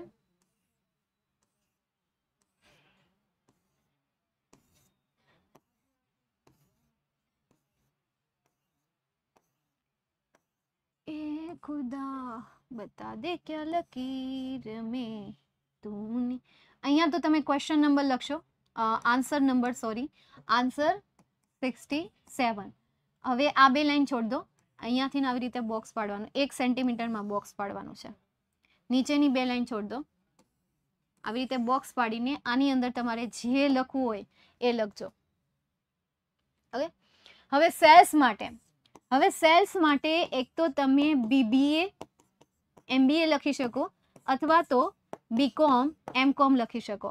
ના ડેટા પ્રમાણે તમને એમ કીધું હશે કે ડિપ્લોમા ઇન સેલ્સમેન, તો એ લખો તો પણ ઓકે, નહીં લખો તો પણ ચાલશે, કે ડિપ્લોમા કર્યું છે ઇન સેલ્સમેનમાં. તો આ એક સર્ટિફિકેટ છે કે જે આપણે કહીએ કોઈ ડિગ્રી નથી. તો આ તમારે લખવું હોય તોય ઠીક છે અને ન લખો તોય ચાલે. કોર્સ કરેલો છે કોર્સ કરેલો છે એને પછી ડિપ્લોમા કર્યું છે સેલ્સમેનમાં એમને ડિપ્લોમા કર્યું છે સેલ્સમેનમાં એમને કોર્સ કરેલો છે. ઓકે? તો તમારે આ લખવું હોય તો પણ ઓકે, બાકી બીકોમ એમ કોમ કરીને તમારે એ ડિગ્રી પૂરી કરી દેવી છે તો પણ ચાલશે સેલ્સમેનમાં અને એક્સ્ટ્રા જે હમણાં કમેન્ટ કરીને કીધું કે ભાઈ ડિપ્લોમા ઇન આ આ, તે. માસ્ટર ઓફ બિઝનેસ એડમિનિસ્ટ્રેશન હા ડન ચાલો. નેક્સ્ટ એના પછી આગળ જઈએ સિક્સટી એઇટ ઉપર. તો એમાં તમને ઈમેલ રાઇટિંગ પૂછાય છે. હવે આમાં તમને ઈમેલ રાઇટિંગ શેના ઉપર પૂછાણી છે? Advising him not to neglect his health એટલે કે તેના સ્વાસ્થ્ય ઉપર એડવાઇઝ આપે છે. કોણ આપે છે? તુષાર પટેલ આપે છે. કોને આપે છે? તેના ફ્રેન્ડ મનનને આપે છે. તો મોકલના તરીકે કોણ છે? તુષાર છે. તો તુષાર ઇઝ અ સેન્ડર અને અહીંયા મનન જે છે એ કોણ છે? રિસીવર છે. તો આપણે અહીંયા લઈએ રિસીવર કે મનન ઇઝ અ રિસીવર મેળવનાર છે. હવે ટુમાં તમારે મનનની આઈડી જાતે બનાવવાની રહેશે. જેમ કે મેં અહીંયા બનાવેલી છે. આવી રીતે એક સરસ મજાનું બોક્સ છેલ્લે પાડી દેજો. પહેલાં પાડવાની કોઈ જરૂર નથી. છેલ્લે આવી રીતે એક સરસ મજાનું બોક્સ પાડી દેજો. ઈમેલને પણ તમારે આ રીતે બોક્સમાં લખવાનું રહેશે. પછી ટુમાં આ રીતે નીચે આવી રીતે લાઇન પાડી દો, ટેબલ બનાવી દો સબ્જેક્ટમાં. અહીંયા આવી રીતે ડોટ કરો તો પણ ઓકે, અથવા તો એક ઊભી લાઇન કરી દો તો પણ વ્યવસ્થિત લાગશે. જો આ ઈમેલ દેખાવમાં કેવો સરસ લાગે છે? બસ ઈમેલની સાઇઝ જે હોય છે, ઈમેલમાં તમારે ત્રણ પેરેગ્રાફ નહીં, પરંતુ બે પેરેગ્રાફ જ લખવાના હોય છે. એક તો હાવ આર યુ લખો, તમારી પ્રોબ્લેમ લખો, ત્યારબાદ એના પછીના પેરેગ્રાફમાં એનું સોલ્યુશન એ તમને મોકલે. આશા છે કે તમે એનો ઉપાય કરશો, આ કરશો, ફલાણું કરશો, પૂછડું કરશો, એ લખો. તો બે પેરેગ્રાફમાં ઈમેલ લખો. આ તો મેં ઈમેલની સાઇઝ શોર્ટ રાખી છે કે જેથી કરીને એક ફોર્મેટ હું તમને સમજાવી શકું કે આવી રીતે એક પેજમાં ઈમેલને આવી રીતે તમે ડ્રો કરીને લખજો ટેબલની અંદર લખજો. હવે ઈમેલ આઈડી તમને આપેલી ન હોય તો જાતે લખો આવી ભૂલ બિલકુલ પણ નહીં કરતા. ઈમેલ આઈડીમાં કોઈ પણ અક્ષર કેપિટલમાં ન હોય, બધા સ્મોલમાં હોય. તો મનનનું નામ લખો ને ત્યારે એમ કેપિટલમાં નહીં સ્મોલમાં રાખજો. કારણ કે આપણી હેબિટ પડી ગઈ કે સ્ટાર્ટિંગનો જે પહેલો અક્ષર આવે, એ પહેલા અક્ષરને તમારે કેપિટલમાં જ લખવાનું. દેન આફ્ટર સબ્જેક્ટ શું હતો? Take care of yourself અથવા તો take care of your health અથવા તો આગળના પેરેગ્રાફમાંથી બેઠું જ તમે ઉપાડી લો. ફોર એક્ઝામ્પલ આગળના પેરેગ્રાફમાં હું આપ્યું છે, તો for advising him not to neglect his health આવું પણ ટાઇટલ તમે આપી શકો. નેક્સ્ટ એના પછી હે મનન ફ્રેન્ડ છે એટલા માટે હે લખી શકાય ડિયર લખી શકાય આ વડે યુઝ કરી શકો I hope you are doing well I just wanted to remind you to take care of your health remember it is super important to eat healthy food get a plenty of sleep and stay active don't forget to drink lots of water too your health is really precious and it is important to look after yourself so you can feel your best every day if you ever need someone to talk or uh, need help with anything, i'm here for you, buddy. Take care Tushar તુષારને શું કહે છે? Take care કહે છે. Madam ઇંગ્લિશમાં time વધે કે ઘટે? ઇંગ્લિશના પેપરમાં ટાઈમ હંમેશા વધે. ઘટતો હોય તો એના લીધે આપણે ઓછી, આપણી જે વિચારવાની સ્પીડ છે એ ઓછી છે. જ્યારે આપણે કોઈ સબ્જેક્ટમાં વિચારવાની સ્પીડ ઓછી હોય ત્યારે આપણને એ પેપરમાં સમય ઘટે છે. નંબર ટુ, સમય ક્યારે ઘટે? જ્યારે પેપરનું આપણે મેનેજમેન્ટ ના કરી શકીએ. કે કયા સવાલમાં કેટલી વસ્તુ લખવી, એનાલાઇઝ ન કરી શકે. જ્યારે ઇકોમાં સમય ઘટે છે બીએનું પેપર લખવામાં સમય ઘટે છે, તો એનું કારણ કે જેમાં જરૂરી હતો એના કરતાં વધારે આન્સર લખીને આવી ગયા. કેમ? કારણ કે એ સવાલ તમને હદથી વધારે આવડતો હતો. એ સવાલમાં તમે લખવું એટલું લખી શકતા હતા, તમે માસ્ટર હતા. તો એ સમય તમે એ સવાલને આપી દો છો કે જે સવાલમાં માસ્ટર છે. ત્યાં તમે માર્ક્સને ફોકસ નથી કરતા. માર્ક્સને ફોકસ કરીને પોઈન્ટ લખો. જેટલા ફિક્સ પોઈન્ટ હોય એટલા પોઈન્ટ લખો કે પાંચ માર્ક્સનો સવાલ પૂછાય છે તો આટલા જ પોઈન્ટ લખવા, આનાથી વધારે નહીં લખવા. આવડતું હોય તો એનો મતલબ એવું નહીં કે એ સવાલમાં આપણે ભરી ભરીને લખી દઈએ, એ સવાલમાં જોઈએ એટલું લખી દઈએ. તો પણ ટીચર તમને એટલા જ મુદ્દાના માર્ક્સ આપશે જેટલા મુદ્દા જરૂરી છે. બાકીના મુદ્દાને ઇગ્નોર કરશે. તો મેનેજમેન્ટ ઓછું હોવાને લીધે આપણો સમય ઘટતો હોય. નંબર ટુ એ સબ્જેક્ટમાં આપણે વિચારવાની જે સ્પીડ હોય, એ સ્પીડ ઝીરો પોઈન્ટ ફાઇવમાં ચાલતી હોય. આ બે સિચ્યુએશનમાં પેપર લખતા વાર લાગે છે. અને ત્રીજી જે સિચ્યુએશન છે કે જેને આપણે અપવાદમાં રાખીએ, આવડતું ન હોય, વિચારતા રહીએ વિચારતા રહીએ વિચારતા રહીએ, આજુબાજુમાં જોતા રહીએ, બસ એના લીધે મોડું થતું હોય. અથવા બીજી એક્ટિવિટી કરતા હોય, પાછળવાળાની આપણને બહુ ચિંતા હોય, આગળવાળીની આપણને બહુ ચિંતા હોય, બાજુવાળાની આપણને બહુ ચિંતા હોય, અને આપણે એને પેપર બતાવવામાં રહીએ, આપણે એને ક્વેશ્ચન બતાવવામાં રહીએ, તો આપણને સમય ગમે. તો આ અધર એક્ટિવિટીઝ છે. એટલે ઓકે એસ એટલે જ એસે તમારે લાસ્ટમાં રાખવાનું છે. ફ્રોમ લખીએ તો ચાલે. ફોર્મ લખવાનું ડેટ નહીં લખતા. ડેટની કોઈ જરૂર નથી. ડેટ સાવ નીકળી ગયું છે. તો ડેટમાં ખાલી ખોટો સમય નહીં બગાડતા. ઠીક છે? હા એસે એપ્લિકેશનમાં માપી લખવાનું એમ. એવું નહીં કે આપણને આવડે છે તો ધડબડાટી બોલાવતા જઈએ, ધબબડાટી બોલાવતા જઈએ. બસ આ થિયરિકલ સબ્જેક્ટમાં પણ એવું છે. બીએ છે ઇકોનોમિક્સ છે એન્ડ એસપીસીસી છે. ગુજરાતી વિષય છે. તો એમાં આપણે અમુક સવાલોમાં હદ બારું લખીએ છીએ. નથી લખતા? ફીલ કરો. તમે આ તમે આ વિચારો. કે કોઈ એવો સવાલ આવી જાય છે, ત્રણ માર્ક્સનો અથવા તો ચાર માર્ક્સનો અથવા પાંચ માર્ક્સનો, એમાં ચાર સવાલો, એમાંથી એકાદો સવાલ આપણને બહુ સારો આવડે છે. તો આપણે એમાં ભરી ભરીને લખીએ છીએ, એટલું બધું લખી દઈએ છીએ કે એની જરૂર પણ નથી હોતી. અને એના કારણે શું થઈ જાય? સ્કીપ થઈ જાય. બીજાને દેખાડવામાં જ રહી જાય. હમ. ચાલો. નેક્સ્ટ અહીંયા એપ્લી ઈમેલમાં તમને અથવામાં રિપોર્ટ રાઇટિંગ પૂછાય છે અને અહીંયા તમને rescue operation of burning house એના ઉપર પૂછાયેલું છે. જો આઈએમપી તો છે નહીં, પણ જોઈ લો એક વખત એના શબ્દ કે મે બી તમને એવું પૂછાઈ જાય રેસ્ક્યુ ઓપરેશન પૂછાઈ જાય કે ભાઈ ઘર બળી ગયું છે, હવે એને કઈ રીતે બચાવું? તો રિપોર્ટ કરો એમાં કે ભાઈ હું વિટનેસ હતો daring a rescue operation at burning house firefighter swiftly arrive at scene ફટાફટ એ આવી ગયા. સ્વિફ્ટલી મતલબ કે ઝડપથી આવી ગયા. એમણે પ્રોટેક્ટિવ ગેર પહેરેલા હતા, સાધનો પહેરેલા હતા કેરિંગ હાઉઝીસ ભાઈ, એણે એ રીતના માસ્ક પણ લગાવેલા હતા. They battle the flame courageously courageously મતલબ કે એ હિંમતપૂર્વક એમનો સામનો કરી રહ્યા હતા. આમના વર્ડ થોડા અઘરા પડશે, જેમ કે કરેજિયસલી દેન આફ્ટર અહીંયા તમને કેરિંગ હોસીસ આપેલું છે દેન આફ્ટર તમને સિફલિંગ અડાવી થોડાક વર્ડ છે ટફ કારણ કે આનાથી ઇઝી નહોતું મળતું. સમ ફાયર કારણ કે ટોપિક જ એવો હતો rescue operation on burning house તો આ નાના બાળકોને શબ્દ આમાં કેમ આપવાના? તો નાના બાળકનું છે જ નહીં, આ ટોપિક જ મોટા છોકરાઓનું છે. Some firefighter climb ladders to reach higher floor ladders એટલે કે સીડી. While other rush the the rescue or resident પછી કેટલાક જે છે એ વસવાટમાં જતા રહ્યા મતલબ કે જ્યાં આગ લાગી હતી ત્યાં. ડિસ્પાઇટ ધ ડેન્જર ખતરો હતો ધ રિમેન ક્લામ તે શાંત રહ્યા અને ફોકસમાં રહ્યા. Ensuring everyone was safely evacuated ભાઈ દરેક વ્યક્તિ જે છે એ ચોકસાઈપૂર્વક સુરક્ષિત છે કે નહીં એ એમણે જોયું. It was a heart warming sight to see them work together as a team તેમને ટીમમાં જોઈને જોવું મતલબ કે યાર તેમને હૃદય જીતી લીધું હતું, હૃદયમાં હૂફ આવી ગઈ હતી. ડિસ્પ્લેઇંગ ઇમેન્સ એન્ડ બ્રેવરી તેમની બહાદુરી અહીંયા દેખાતી હતી, સર્જતી હતી. સેલ્ફલેસનેસ સ્વાર્થીપણું હતું જ નહીં. થેન્ક્સ ટુ ધેર એફર્ટ્સ તેમના પ્રયત્નો માટે તેમનો ખૂબ ખૂબ આભાર. લિવ વર સેવ્સ તેમને જીવનોને બચાવ્યા. એના માટે આભાર.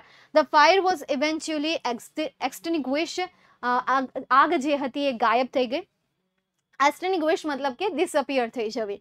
I am grateful for our brave firefighter who protect us every day ભાઈ, આપણે આભારી છીએ કે ફાયર ફાઇટર જે છે એ, ભાઈ શું કરે છે આપણને? રક્ષા આપે છે. આ થોડુંક ટફ છે, પણ તો એક વખત ટ્રાય કરજો. આનાથી ઇઝી ન બન્યું એટલા માટે. પણ તમારાથી જો બની જાય તો ટ્રાય કરજો.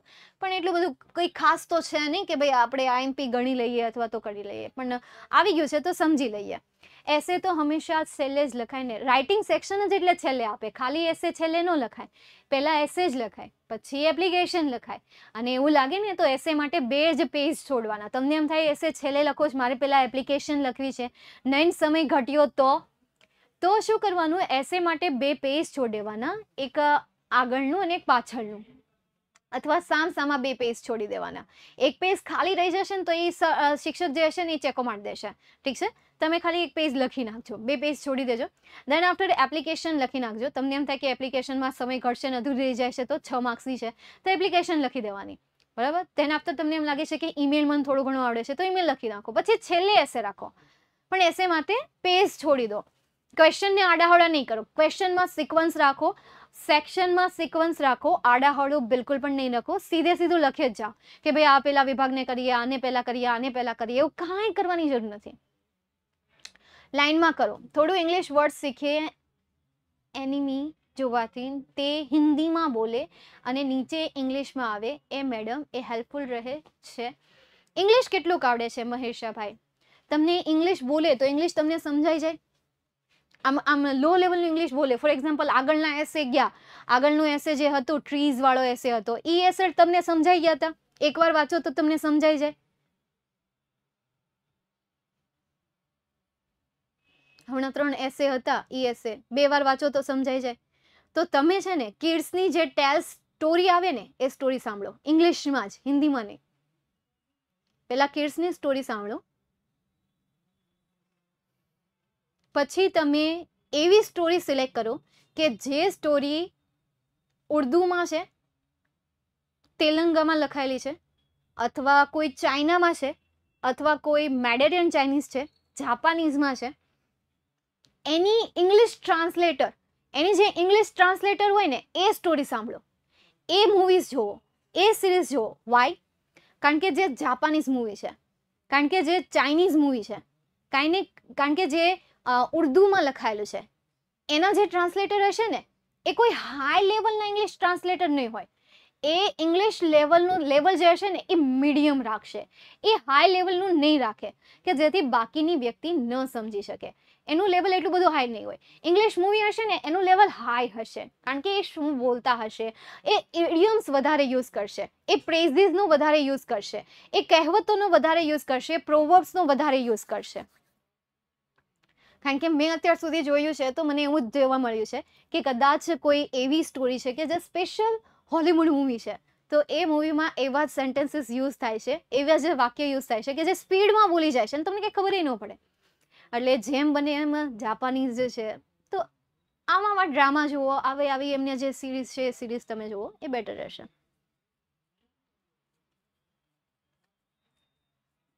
મારે મેડમ પંચોતેર આવ્યા, શું વાત છે? આ તો ગર્વની વાત કહી તમે.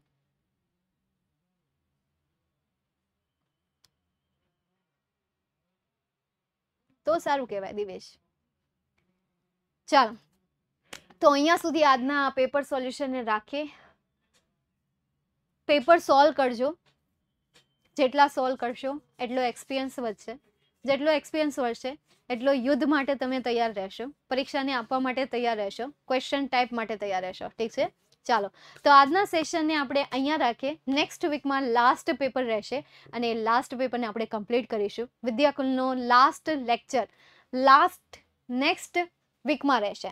ઓકે ચાલો, તો અહીંયા સુધી રાખીએ. મળીએ નેક્સ્ટ સેશનમાં see you soon calculator bye and take care અને હોમવર્ક કરવું ભૂલતા નહીં.